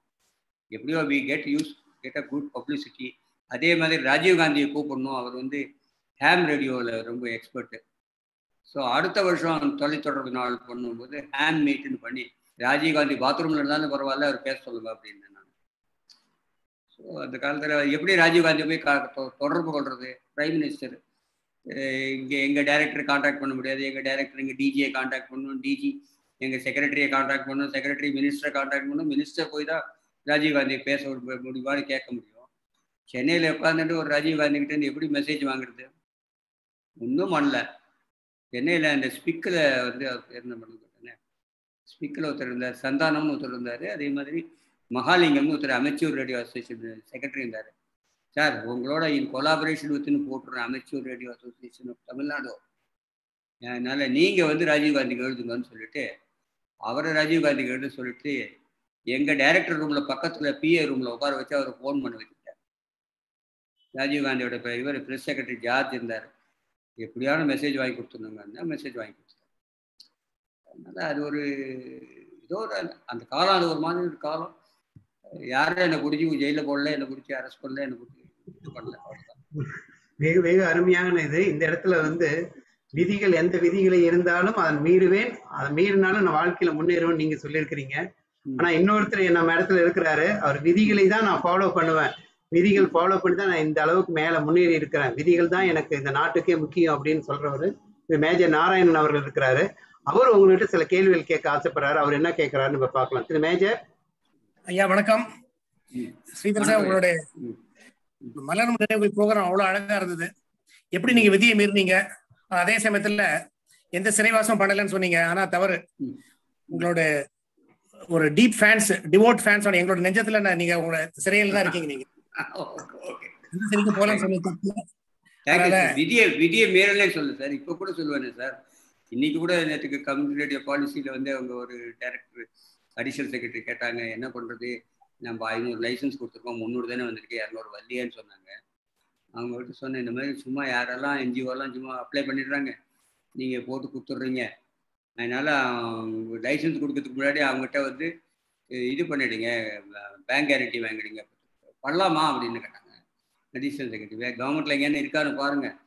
ஆனாலும் லைசன்ஸ் கொடுக்கறதுக்கு முன்னாடி பத்து லட்ச ரூபாய்க்கு எஸ்க்ரூ அக்கௌண்ட்னுவாங்க எஸ்க்ரூ அக்கௌண்ட் அதை ஓப்பன் பண்ண சொல்லி படத்தை போட்டுருங்க.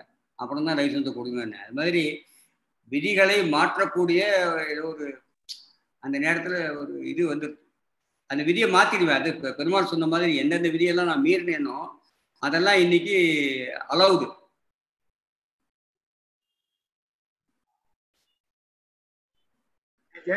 போஸ்ட் சார் நீங்க இருக்கீங்களே போஸ்ட் ஃபேக்டோ சாங்ஷன் ஒன்று இருக்கு.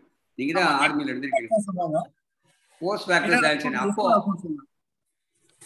அதான் நீங்க உங்களுடைய பாஸ் வந்து உங்க உங்களுடைய நம்பிக்கை உள்ளவரா இருந்தாருன்னா சார் பண்ணிட்டேன் சார் கையெழுத்து போடுங்கன்னா கையெழுத்து போடுவாங்க. அதோட இன்னொன்னு ஒரே ஒரு விஷயம் மிரட்டலும் உண்டு. ஏதான ஒரு பாஸ் இங்க வந்து அசிஸ்டன்ட் டைரக்டர் ஒருத்தர் இருந்தாரு சென்னையில கையெழுத்து போட மாட்டேன்னாரு. இப்போ ஸ்டேஷன் டைரக்டர் போடுவேன்னு தெரியும். ஒரு ஸ்டேஷன் டைரக்டர் ஒரு லேடி இருந்தாங்க. அந்த அம்மா நான் சொல்றதெல்லாம் அங்க வேற பயமுறுத்திட்டாங்க. ஸ்ரீதரம் அவன் பையிலெல்லாம் ஜாக்கிரதையா பாருன்னு. அவன் முடியாதுன்னு எழுதினா நான் நேராக ஒரு போஸ்ட் கார்டு எழுதி டெல்லிக்கு அமிச்சேன். மூணாவது நாள் டெல்லியிலேருந்து ஆர்டராக வந்துடுது தெரியும் நான் தான் எழுதினேன் ஸோ எங்கள் டைரக்டருக்கு தெரியும் எனக்கு டெல்லியில் ஆள் இருக்குன்னு. அந்த டெல்லியில் உள்ள எங்கள் டிஜிக்கு தெரியும் நான் மினிஸ்டரை பார்த்து பேசிக்குவேன் மினிஸ்டருக்கு தெரியும் இவன் பிரைம் மினிஸ்டரையே அப்போ அப்ரோச் பண்ணிடுவானு ஆனால் எனக்கு யாரையும் தெரியாது. அதெல்லாம் ஒரு டாக்டிக் தான் சார் ரொம்ப அருமையானது திரு எம் எஸ் பெருமாள் அவர்கள் இன்னொன்னு எதை சொல்ல விரும்புறாரு? Due regards to our seniors இந்த விஷயத்தை சொல்லாம இருக்க முடியல. நாட்டுப்புற கலைகள் நிகழ்ச்சி சொன்னீங்க இல்லையா? நாட்டுப்புற கலைகள் நிகழ்ச்சி விடிய விடிய லைவ் நடந்ததுக்கு அப்போ இருந்த டைரக்டர் வந்து லைவ் கூடாது. ஏன்னா கிராமத்து நாட்டுப்புற கலைஞர்கள் எல்லாம் வந்து எல்லாருமே வந்து கொஞ்சம் நார்மலாகவே ஆறு மணி ஆச்சுனாலே அவங்க எல்லாம் இருப்பாங்க. வார்த்தைகள் தப்பு தப்பா வந்து சேர்ந்துரும். நமக்கு வேறு கெட்டு போயிடும். அதனால இது பண்ண மாட்டேன். பொய்க்கால் குதிரையும் கரகமாக ஆடுறதும் என்ன வாயை திறந்து பேசவா போறாங்க? அவர் அவருக்கு என்னமோ அது வந்து லைவ் கூடாதுன்னு நான் டிசைட் பண்ணியாச்சு லைவ் கூடாது. இதை வந்து கண்ணன் தான் ப்ரோக்ராமுக்கு இன்சார்ஜா இருந்தார். அவர் வந்து இப்போ டேரக்டர் இப்படி சொல்றாரு. நான் என்ன பண்றது ஸ்ரீதர்ட்டு அவர் வந்து நின்றாரு அப்புறம் நான் ஸ்ரீதர் சார் நான் கேட்டேன். நீ இப்போ என்ன பெருமாள் அப்படின்னாரு நீங்க என்ன வந்து எக்ஸிகூட்டிவ் ப்ரொடியூசர் நீங்க நீங்க வந்து ரெக்கா இதுல போடுங்க நோட் போடுங்க நான் பாத்துக்கிறேன்ட்டு. நேராக இப்போ டேரக்டர் ரூமுக்கு போனேன். சார் ஏழு மணிக்கு லைவ் நீங்க வீட்டுக்கு போயிட்டு சாப்பிட்டுட்டு டிஃபன் மாதிரி சாப்பிட்டுட்டு அண்ணிலாம் கூட்டு ப- பசங்க எல்லாம் கூப்பிட்டு வந்துருங்க. நீங்க தான் முன்னாடி உட்காரணும். நீங்க வந்து அப்புறம் தான் ஆரம்பிக்கணும். நான் லைவா லைவ் தான் கூடாதுன்னு சொன்னேங்க நீங்க கூடாதுன்னு சொன்னீங்க நான் பண்றோம். நாங்க பண்றோம். சொல்லியாச்சு. லைவ் ஆரம்பிச்சதுக்கு அப்புறம் சார் சொன்ன மாதிரி வசந்தகுமார் வந்திருக்காரு அடுத்தாப்புல வாகை சந்திரசேகர். ராதா ரவி. ஒவ்வொரு ஆர்டிஸ்டா வந்து ஒன்பது மணிக்கு ஷூட்டிங் முடிஞ்சு வந்தவங்க எல்லாம் மனோரமா பாத்தீங்கன்னா எல்லாரும் பர்சனாலிட்டிஸ் பூரா எல்லாரும் வந்து என்ன இன்னும் டிவில நம்ம லைவ் போயிட்டு இருக்கு லைவ் போயிட்டு இருக்காங்க பதினோரு மணி பன்னெண்டு மணி ஒரு மணி ரெண்டு மணி எல்லாம் விஐபிஸ் எல்லாம் அவங்க வந்து வர ஆரம்பிச்சிட்டாங்க. முழுக்க முழுக்க லைவ் இது பண்ணியாச்சு சக்சஸ் காரணம் வந்து அதுக்கு வந்து ஸ்ரீதர் கொடுத்த தைரியமும் நாங்க எடுத்த அவர் எடுத்த டிசிஷன் வந்து நம்ம ஆனர் பண்ணணுங்கிறதுக்கு. இதுல இதுக்கப்புறம் ஒரு டேர்னிங் பாயிண்ட் வந்தது. அதை நான் வந்து with due regards to my. Seniors மறுநாள் வந்து இப்போ வாசல்ல போஸ்டர். நலிந்த கலைஞர்களுக்கு நல்வாழ்வு கொடுத்த மறுவாழ்வு கொடுத்த அப்படின்னு அவர் அந்த இயக்குனருடைய பேரை போட்டு ஒரு போஸ்டர். பார்த்தா எனக்கு பகீர் நாய் போச்சு யார் அப்ஜெக்ட் பண்ணாரோ அவருக்கு வந்து இப்போ இவ்வளவு பெரிய ட்ரிபியூட் கொடுக்குறாங்களே. சரி என்னமோ யாரோ ஒரு புகழுக்கு எங்கனவங்க பண்ணியிருக்காங்க பரவாயில்ல நன்றி எப்படி தெரிவிக்கிறாங்க விட்டு போறோம் அப்படின்ட்டு ஆனால் அந்த போஸ்டர் சுருட்டி எடுத்துட்டு போயிட்டு டெல்லி வரைக்கும் போய் பிரசிடென்ட்டை மீட் பண்ணி பாருங்க உங்களுக்காக நான் பண்ணியிருக்கேன் எனக்கு ஒரு வருஷம் எக்ஸ்டென்ஷன் கொடுங்க எக்ஸ்டென்ஷன் வாங்கிட்டு வந்து உட்காந்தேன் அதனால நஷ்டம் என்னன்னா ஸ்ரீதர் அந்த இடத்துல டைரக்டா வந்திருக்க வேண்டிய ஆளை கிளப்பி இங்கேருந்து கல்கட்டாக்கு போ அங்க போ இங்க போன்னு திருப்பி விட்டாங்க. ஒரு ஸ்டேஷனுக்கு டைரக்டராக இந்த ஸ்ரீதர் வரக்கூடாதுன்னு யார் வந்து இடைஞ்சல் பண்ணாங்களோ அவர் எக்ஸ்டென்ஷன் வாங்கிட்டு இருந்தாரு அது வேற விஷயம். அவர் இருக்கட்டும் இருந்த வரைக்கும் நான் இருக்கட்டும். ஆனால் ஸ்ரீதர் வந்து டைரக்டர் ஆக விடமாட்டேன்னு சொல்லி நினைச்சதுக்கு வந்து இன்னைக்கு கம்யூனிட்டி ரேடியோ மூலமா 250 ஸ்டேஷன் டைரக்டர்ல ஸ்ரீதர் உருவாக்கி இருக்கார் ஒருத்தருக்கு அந்த டைரக்டர் போஸ்ட் அவர் கிடைக்கலன்னாலும் 250 ஸ்டேஷன் டைரக்டர் வந்து ஸ்ரீதர் இன்னைக்கு உருவாயிருக்கார் இந்த பத்து வருஷத்துக்குள்ள. அந்த 250 பேரை நானும் ஒருத்தன். ரெண்டு ஸ்டேஷனுக்கு நான் வந்து ஸ்டேஷன் டைரக்டர் தான் இருந்திருக்கேன் அந்த தனக்கு கிடைக்காட்டாலும் பரவாயில்ல. 250 பேரை உருவாக்கின அந்த என்ன சொல்றது அந்த கம்யூனிட்டி ரேடியோ பிதாமகர். அவருக்கு நெஞ்சார்ந்த நன்றி வணக்கம். என்ன ஒன்றும் இல்லைங்க வா- எனக்கு வாய்ப்பு கிடைச்சிங்க அவ்வளோதாங்க வாய்ப்பு கிடைத்தாலும் வந்து அதை மற்றவர்களுக்கு பயன்படுத்துறீங்கல்ல? அதனால மிகப்பெரியது திரு திருமதி மோனா இருக்கிறாங்க. அவங்க ஏதாவது பேச விரும்புறாங்களா?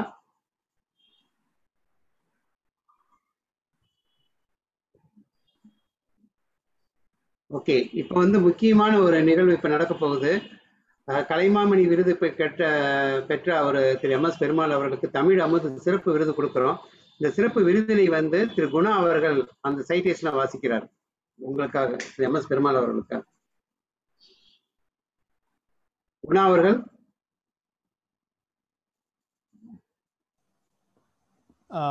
எம்பவர்மெண்ட் டாக்ஸ் தமிழமுது நிகழ்ச்சி. தமிழமுது சிறப்பு விருது. முனைவர் கலைமாமணி திரு எம் எஸ் பெருமாள் மேனாள் சென்னை தொலைக்காட்சி இயக்குனர் சென்னை அவர்களுக்கு ஆறு மூணு ரெண்டாயிரத்தி இருபத்தி ஒன்று நடைபெற்ற பதினைந்தாவது தமிழ் அமுது இணையவழி புத்தக மதிப்புரை நிகழ்ச்சியில் அவரின் நிகரற்ற சேவையினை பாராட்டி எழுத்துச் சிகரம் என்ற சிறப்பு விருதினை வழங்கி பாராட்டுவதில் பெருமையடைகிறது இப்படிக்கு முனைவர் ராஜாவினை நிகழ்ச்சி ஒருங்கிணைப்பாளர். இந்த இந்த விருதினை வந்து திரு டாக்டர் ஸ்ரீதர் முன்னிலையில் கொடுப்பதில் தமிழ் அமுதானது மிக பெருமை அடைகிறது. எம் எஸ் பெருமாள்கள் எம் எஸ் பெருமாள் அவர்கள் என்னை பொறுத்த வரைக்கும் இன்றைய இன்றைய வேலையில் இளைஞராக தான் இருக்கிறாரு. இன்னும் நிறைய நாவல்கள் நிறைய புத்தகங்கள் நிறைய எழுதணும். அதுக்கு நம்ம எல்லாருமே வந்து ஆதரவு கொடுப்போம் அப்படிங்கிறத வந்து திரு டாக்டர் ஸ்ரீதர் அவர்களுக்கு சார்பாகவும் நாங்கள் இங்கே சொல்லிக் கொள்கிறோம். இந்த நிகழ்ச்சியானது இவ்வளவு தூரம் அருமையாக நடந்தது என்றால் திரு ஸ்ரீதர் அவர்கள் அதே மாதிரி வந்து எம் எஸ் பெருமாள் அவர்கள் திரு குணா அவர்கள் அவங்க டாக்டர் கீத் ரகுநாத் வந்தனா வந்து சாந்தி ராஜு அதுக்கப்புறம் ராதா இவர்கள் அனைவரும் இருக்கிறாங்க. இப்பொழுது நன்றி உரையாக ராதா அவர்களை பேச அழைக்கின்றேன். ராதா? அடுத்த வாரம் நிகழ்வு இருக்குங்கய்யா? ஆ அடுத்த வாரம் நிகழ்வு சொல்லிடுங்க நீங்க. நிகழ்வு சொல்லிடுங்க. அடுத்த வாரம் இதே நேரத்தில் இதே இதே மதிப்பில் திரு கோ. ஒளிவண்ணன் அவர்கள் எழுதிய கோ. ஒளிவண்ணன் சிறுகதைகள் என்ற நிகழ்ச்சி மதிப்பில் நடக்க இருக்கிறது அதற்கு பிறகு திரு பொறியாளர் நரசிம்மன் அவர்கள் வந்து இந்திரா சௌந்தரராஜன் எழுதிய இறைதிர் காடு என்ற நூலை மதிப்பீடு செய்கிறார். இதில் மிக முக்கிய சிறப்பான அம்சம் என்றால் அதற்கு ஏற்புரை வழங்க திரு இந்திரா சௌந்தரராஜன் இதிலும் கலந்து கொள்கிறார் என்ற நிகழ் மகிழ்ச்சியான செய்தி நாங்கள் உங்களுக்கு தெரிவித்துக் கொள்கிறோம். தொடர்ந்து அம்மா பே ராதாமணி அவர்கள் நன்றியுரை வழங்குவார்கள். ராதா அவர்கள் நன்றி வணக்கம் சொல்லு முதல்ல சாந்தி ராஜுவில் இருந்து ஆரம்பிக்கலாம். ஏன்னா ஃபஸ்ட்டு வந்து சாந்தி ராஜு அவர்கள் வந்து இந்த நிகழ்ச்சியை வந்து ஒரு நல்ல தொகுப்பாளராக ஒவ்வொரு விஷயத்தையும் நம்மளுக்கு வந்து சொன்னாங்க. ஸோ சாந்தி ராஜு அவர்களுக்கு நன்றி. வந்தனா வந்து டாக்டர் கீத் ரகுநாதன் அவங்கள வந்து இன்ட்ரடியூஸ் பண்ணாங்க. அவங்களுக்கு நன்றி. மிக மிகப்பெரிய நன்றி வந்து டாக்டர் கீத் ரகுநாதன். அவங்கக்கிட்ட இருந்து நிறைய விஷயங்கள் இன்றைக்கும் நம்ம கற்றுக்கிட்டோம் என்னன்னா அவங்க வந்து அவங்களுடைய வாழ்க்கை வரலாறும் சொன்னாங்க. அந்த புக்கு ரெவ்யூவும் பண்ணாங்க. அதாவது சுட்ட மண்ணில் எதுவுமே செய்ய முடியாது. ம பெண்களாகட்டும் ஆண்களாகட்டும் வளைந்து கொடுத்தால் மட்டுமே வந்து ஒரு நல்ல சிற்பமாக கொண்டு வர முடியும். ஒரு மண்ணிலிருந்து ஒரு சிற்பம் வரும் அப்படிங்கிறத ரொம்ப சுருக்கமாக அதே டைம் எல்லார் மனதிலையும் வந்து ரீச் பண்ணுற மாதிரி சொன்னாங்க. அவங்களுக்கு மிக்க நன்றி. அடுத்தது வந்து பார்த்திங்கன்னா முனைவர் என் சி ராஜாமணி ஐயா வந்து பெருமாள் அவர்களை வந்து இன் இன்ட்ரடியூஸ் பண்ணாங்க. அவர்களுக்கு மிக்க நன்றி. அதுக்கப்புறமேட்டு பார்த்திங்கன்னா பார்த்தீங்கன்னா வந்து இது ஒரு பெரிய ஒரு விஷயமாகவே நம்ம பார்க்கலாம். பெருமாள் ஐயா அவர்களும் ஸ்ரீதர் ஐயா அவர்களும் வந்து இந்த புத்தகத்தை பற்றியும் அவங்களுடைய வாழ்க்கை வரலாறு அதாவது வந்து ஒரு ஐம்பது வருடம் வந்து அவங்களுடைய வேலையில் அவர்கள் கற்ற விஷயத்தை நம்மளிடம் பகிர்ந்து கொண்டாங்க. இது நம்மள மாதிரி இருக்கக்கூடியவங்க இதிலிருந்து நிறைய விஷயங்களை நம்ம கற்றுக்கலாம் ஏற்புரை இது பண்ண ஸ்ரீதர் ஐயா அவர்களுக்கும் நன்றி. பெருமாளையா பெருமாள் ஐயா அவர்களுக்கும் நன்றி. ஐயா பெருமாள் ஐயா நீங்கள் பேசுகிறது வந்து எங்ககிட்ட நேரில் நீங்கள் எப்படி பேசுகிறீங்களோ அதே மாதிரியே பேசுனீங்க. அதுவும் ராணி மைந்தன் ஐயா அவர்களுக்கும் வந்து நீங்கள் ஒவ்வொரு தடவையும் ஒரு எழுத்தாளர் நீங்கள் ஒரு எழுத்தாளராக இருக்கிறதுனால இன்னொரு எழுத்தாளர்களுக்கும் நீங்கள் மதிப்பு மரியாதை கொடுத்து ஒவ்வொரு தடவையும் அவர் இப்படி எழுதியிருக்காங்க இப்படி பண்ணியிருக்காங்கன்னு நீங்கள் சொன்னீங்க. மிக்க நன்றி ஐயா. நம்ம நிகழ்ச்சிக்கு நீங்கள் வந்ததுக்கு மிக்க நன்றி. அதுக்கப்புறமேட்டு ஸ்ரீதர் ஐயா அவர்களுக்கும் வந்து உங்களை ப உங்களை வந்து ஃபோனில் பேசியிருக்கேன். ஆனால் வந்து நேரில் அதாவது ஜூம் கால் அதாவது ஆ மீட் பண்ணியிருக்கோம். ஆஹ் உங்களை வந்து பார்த்த பிறகு தான் தெரியுது. அந்த தில் அப்படின்னா அந்த வேகமாக போய் ஒரு அச்சீவ் பண்ணணும். எந்த ஒரு தடைகளுமே நம்மளுக்கு வாழ்க்கையில் இருந்தாலும் அதை தடைத்து உறிந்து அடுத்த லெவலுக்கு போயிட்டே இருக்கணுங்கிறது உங்ககிட்ட இருந்து இன்னைக்கு நாங்கள் கற்றுக்கிட்டோம் மிக்க நன்றி ஐயா. அதுக்கப்புறம் இந்த நிகழ்ச்சியை வந்து ஒவ்வொரு வாரமும் நம்மளுக்கு சிறப்பாக வந்து வழிநடத்தி கொடுக்கிற குணா அவர்களுக்கு ஐயா அவர்களுக்கும் மிக்க நன்றி. இந்த நிகழ்ச்சியில் நம்ம வாரந்தூரமும் வந்து நம்ம நிகழ்ச்சியை வந்து நீங்கள் எல்லாருமே வந்து அட்டன் பண்ணுறீங்க டாக்டர் மேஜர் நாராயணன் ஐயா அவர்கள் வாசுகி கண்ணப்பன் மேம்ஸ் அதுக்கப்புறம் சவுந்தர் சந்திரா பொன்முடி அதுக்கப்புறம் ரேவதி அவர்களுக்கு எல்லாருக்குமே இந்த நிகழ்ச்சியில் ஒவ்வொரு வாரமும் நீங்கள் கலந்துக்கிறதுனால தான் இந்த நிகழ்ச்சி ஒவ்வொரு வாரமும் அடுத்த நிகழ்வுக்கு நம்ம நக போயிட்டே இருக்குது ஸோ அது மாதிரி ஒவ்வொருத்தங்களுக்கும் நன்றி. இந்த நிகழ்ச்சியில் வந்து தினேஷ் அவர்களுக்கும் அதுக்கப்புறமேட்டு பாண்டியராஜன் அவர்களுக்கும் மிக்க நன்றி. இப்போது குணா ஐயா அவர்கள் வந்து ஒரு சில வார்த்தைகள் கூறுவார்கள். ஏன்னா இந்த நிகழ்ச்சி வந்து உங்களை அதே மாதிரி ரவி ஐயா அவர்களுக்கும் நன்றி. அவருமே வந்து நம்மளுக்கு கூட வந்து ஒவ்வொரு தடவையும் ரொம்ப ஒரு சப்போர்ட்டுன்னே சொல்லலாம். அவருக்கும் நன்றி. நீங்கள் ஒவ்வொரு வாரமும் நம்ம நிகழ்ச்சிக்கு ஆதரவு கொடுக்கணும். ஏன்னா இந்த வந்து இரண்டு புத்தகங்களை நம்ம வாசிக்கக்கூடிய சந்தர்ப்பத்தை நம்மளுக்கு இந்த நிகழ்ச்சியே நம்மளுக்கு கொடுத்துருது. அதனால ஒவ்வொரு இப்போ நீங்கள் வந்து இந்த புத்தகத்தை படி படிச்சிங்க படிச்சீங்க அப்படின்னா நீங்கள் உடனடியாக அந்த புத்தகத்தை நீங்கள் வாங்கணும். அதாவது ராணி மைந்தன் ஐயா எழுதிய நம்ம ஸ்ரீதர் ஐயாவுடைய வாழ்க்கை வரலாறு புத்தகத்தை நீங்கள் படித்தீர்களா இன்னும் நிறைய விஷயங்கள் அந்த புத்தகத்துல இருந்து நீங்கள் கற்றுக்கலாம் இப்போது குணா ஐயா இப்போது நம்ம தொடரலாம். இந்த நிகழ்ச்சி வந்தவங்க அனைவருக்கும் நன்றி.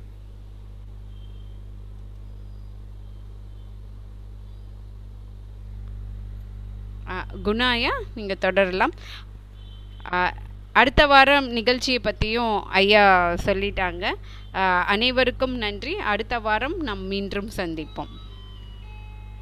நன்றி. வணக்கம். நன்றி வணக்கம். ராஜாமணி ஐயா நீங்கள் தான் ஓஸ்டாக இருக்கீங்க. நீங்கள் தான் ஹேண்ட் பண்ணணும். மீண்டும் அடுத்த வாரம் நாம் சந்திப்போம். அனைவருக்கும் நன்றி. நன்றி நன்றி. அருமையான ஒரு நிகழ்ச்சி. அவள் ஒரு தொடர்கதை ஒரு சமூக சவுக்கு. அந்த பணி இன்றும் தொடரும். என்றும் தொடர வேண்டும் என்று டாக்டர் எம் எஸ் பெருமாள் அவர்களை சந்தித்தில் மிக்க நன்றின்னு ஒருத்தர் சொல்லியிருக்கிறாரு. போனா அவர்கள் வந்து ரொம்ப பாராட்டி இருக்கிறாங்க. நிறைய பாராட்டுகள் இருக்கு. அதை அனைத்தும் சொல்வதுடன் நேரம் போதாது. உங்கள் அனைவருக்கும் நன்றி கூறி விடைபெறுகின்றோம். இத்துடன் நிகழ்ச்சியை முடித்துக் கொள்கிறோம். மீண்டும் நான் அடுத்த வாரம் ஐந்து மணிக்கு சனிக்கிழமை சந்திப்போம். நன்றி வணக்கம். வணக்கம் ஐயா. மிக சிறப்பான நிகழ்ச்சி. வணக்கம் வணக்கம். வாய்ப்புக்கு நன்றி. வணக்கம். தமிழம் இது குழுவுக்கு ரொம்ப நன்றி. ரொம்ப சிறப்பா இருந்தது இன்னைக்கு நிகழ்ச்சி. நன்றி நன்றி.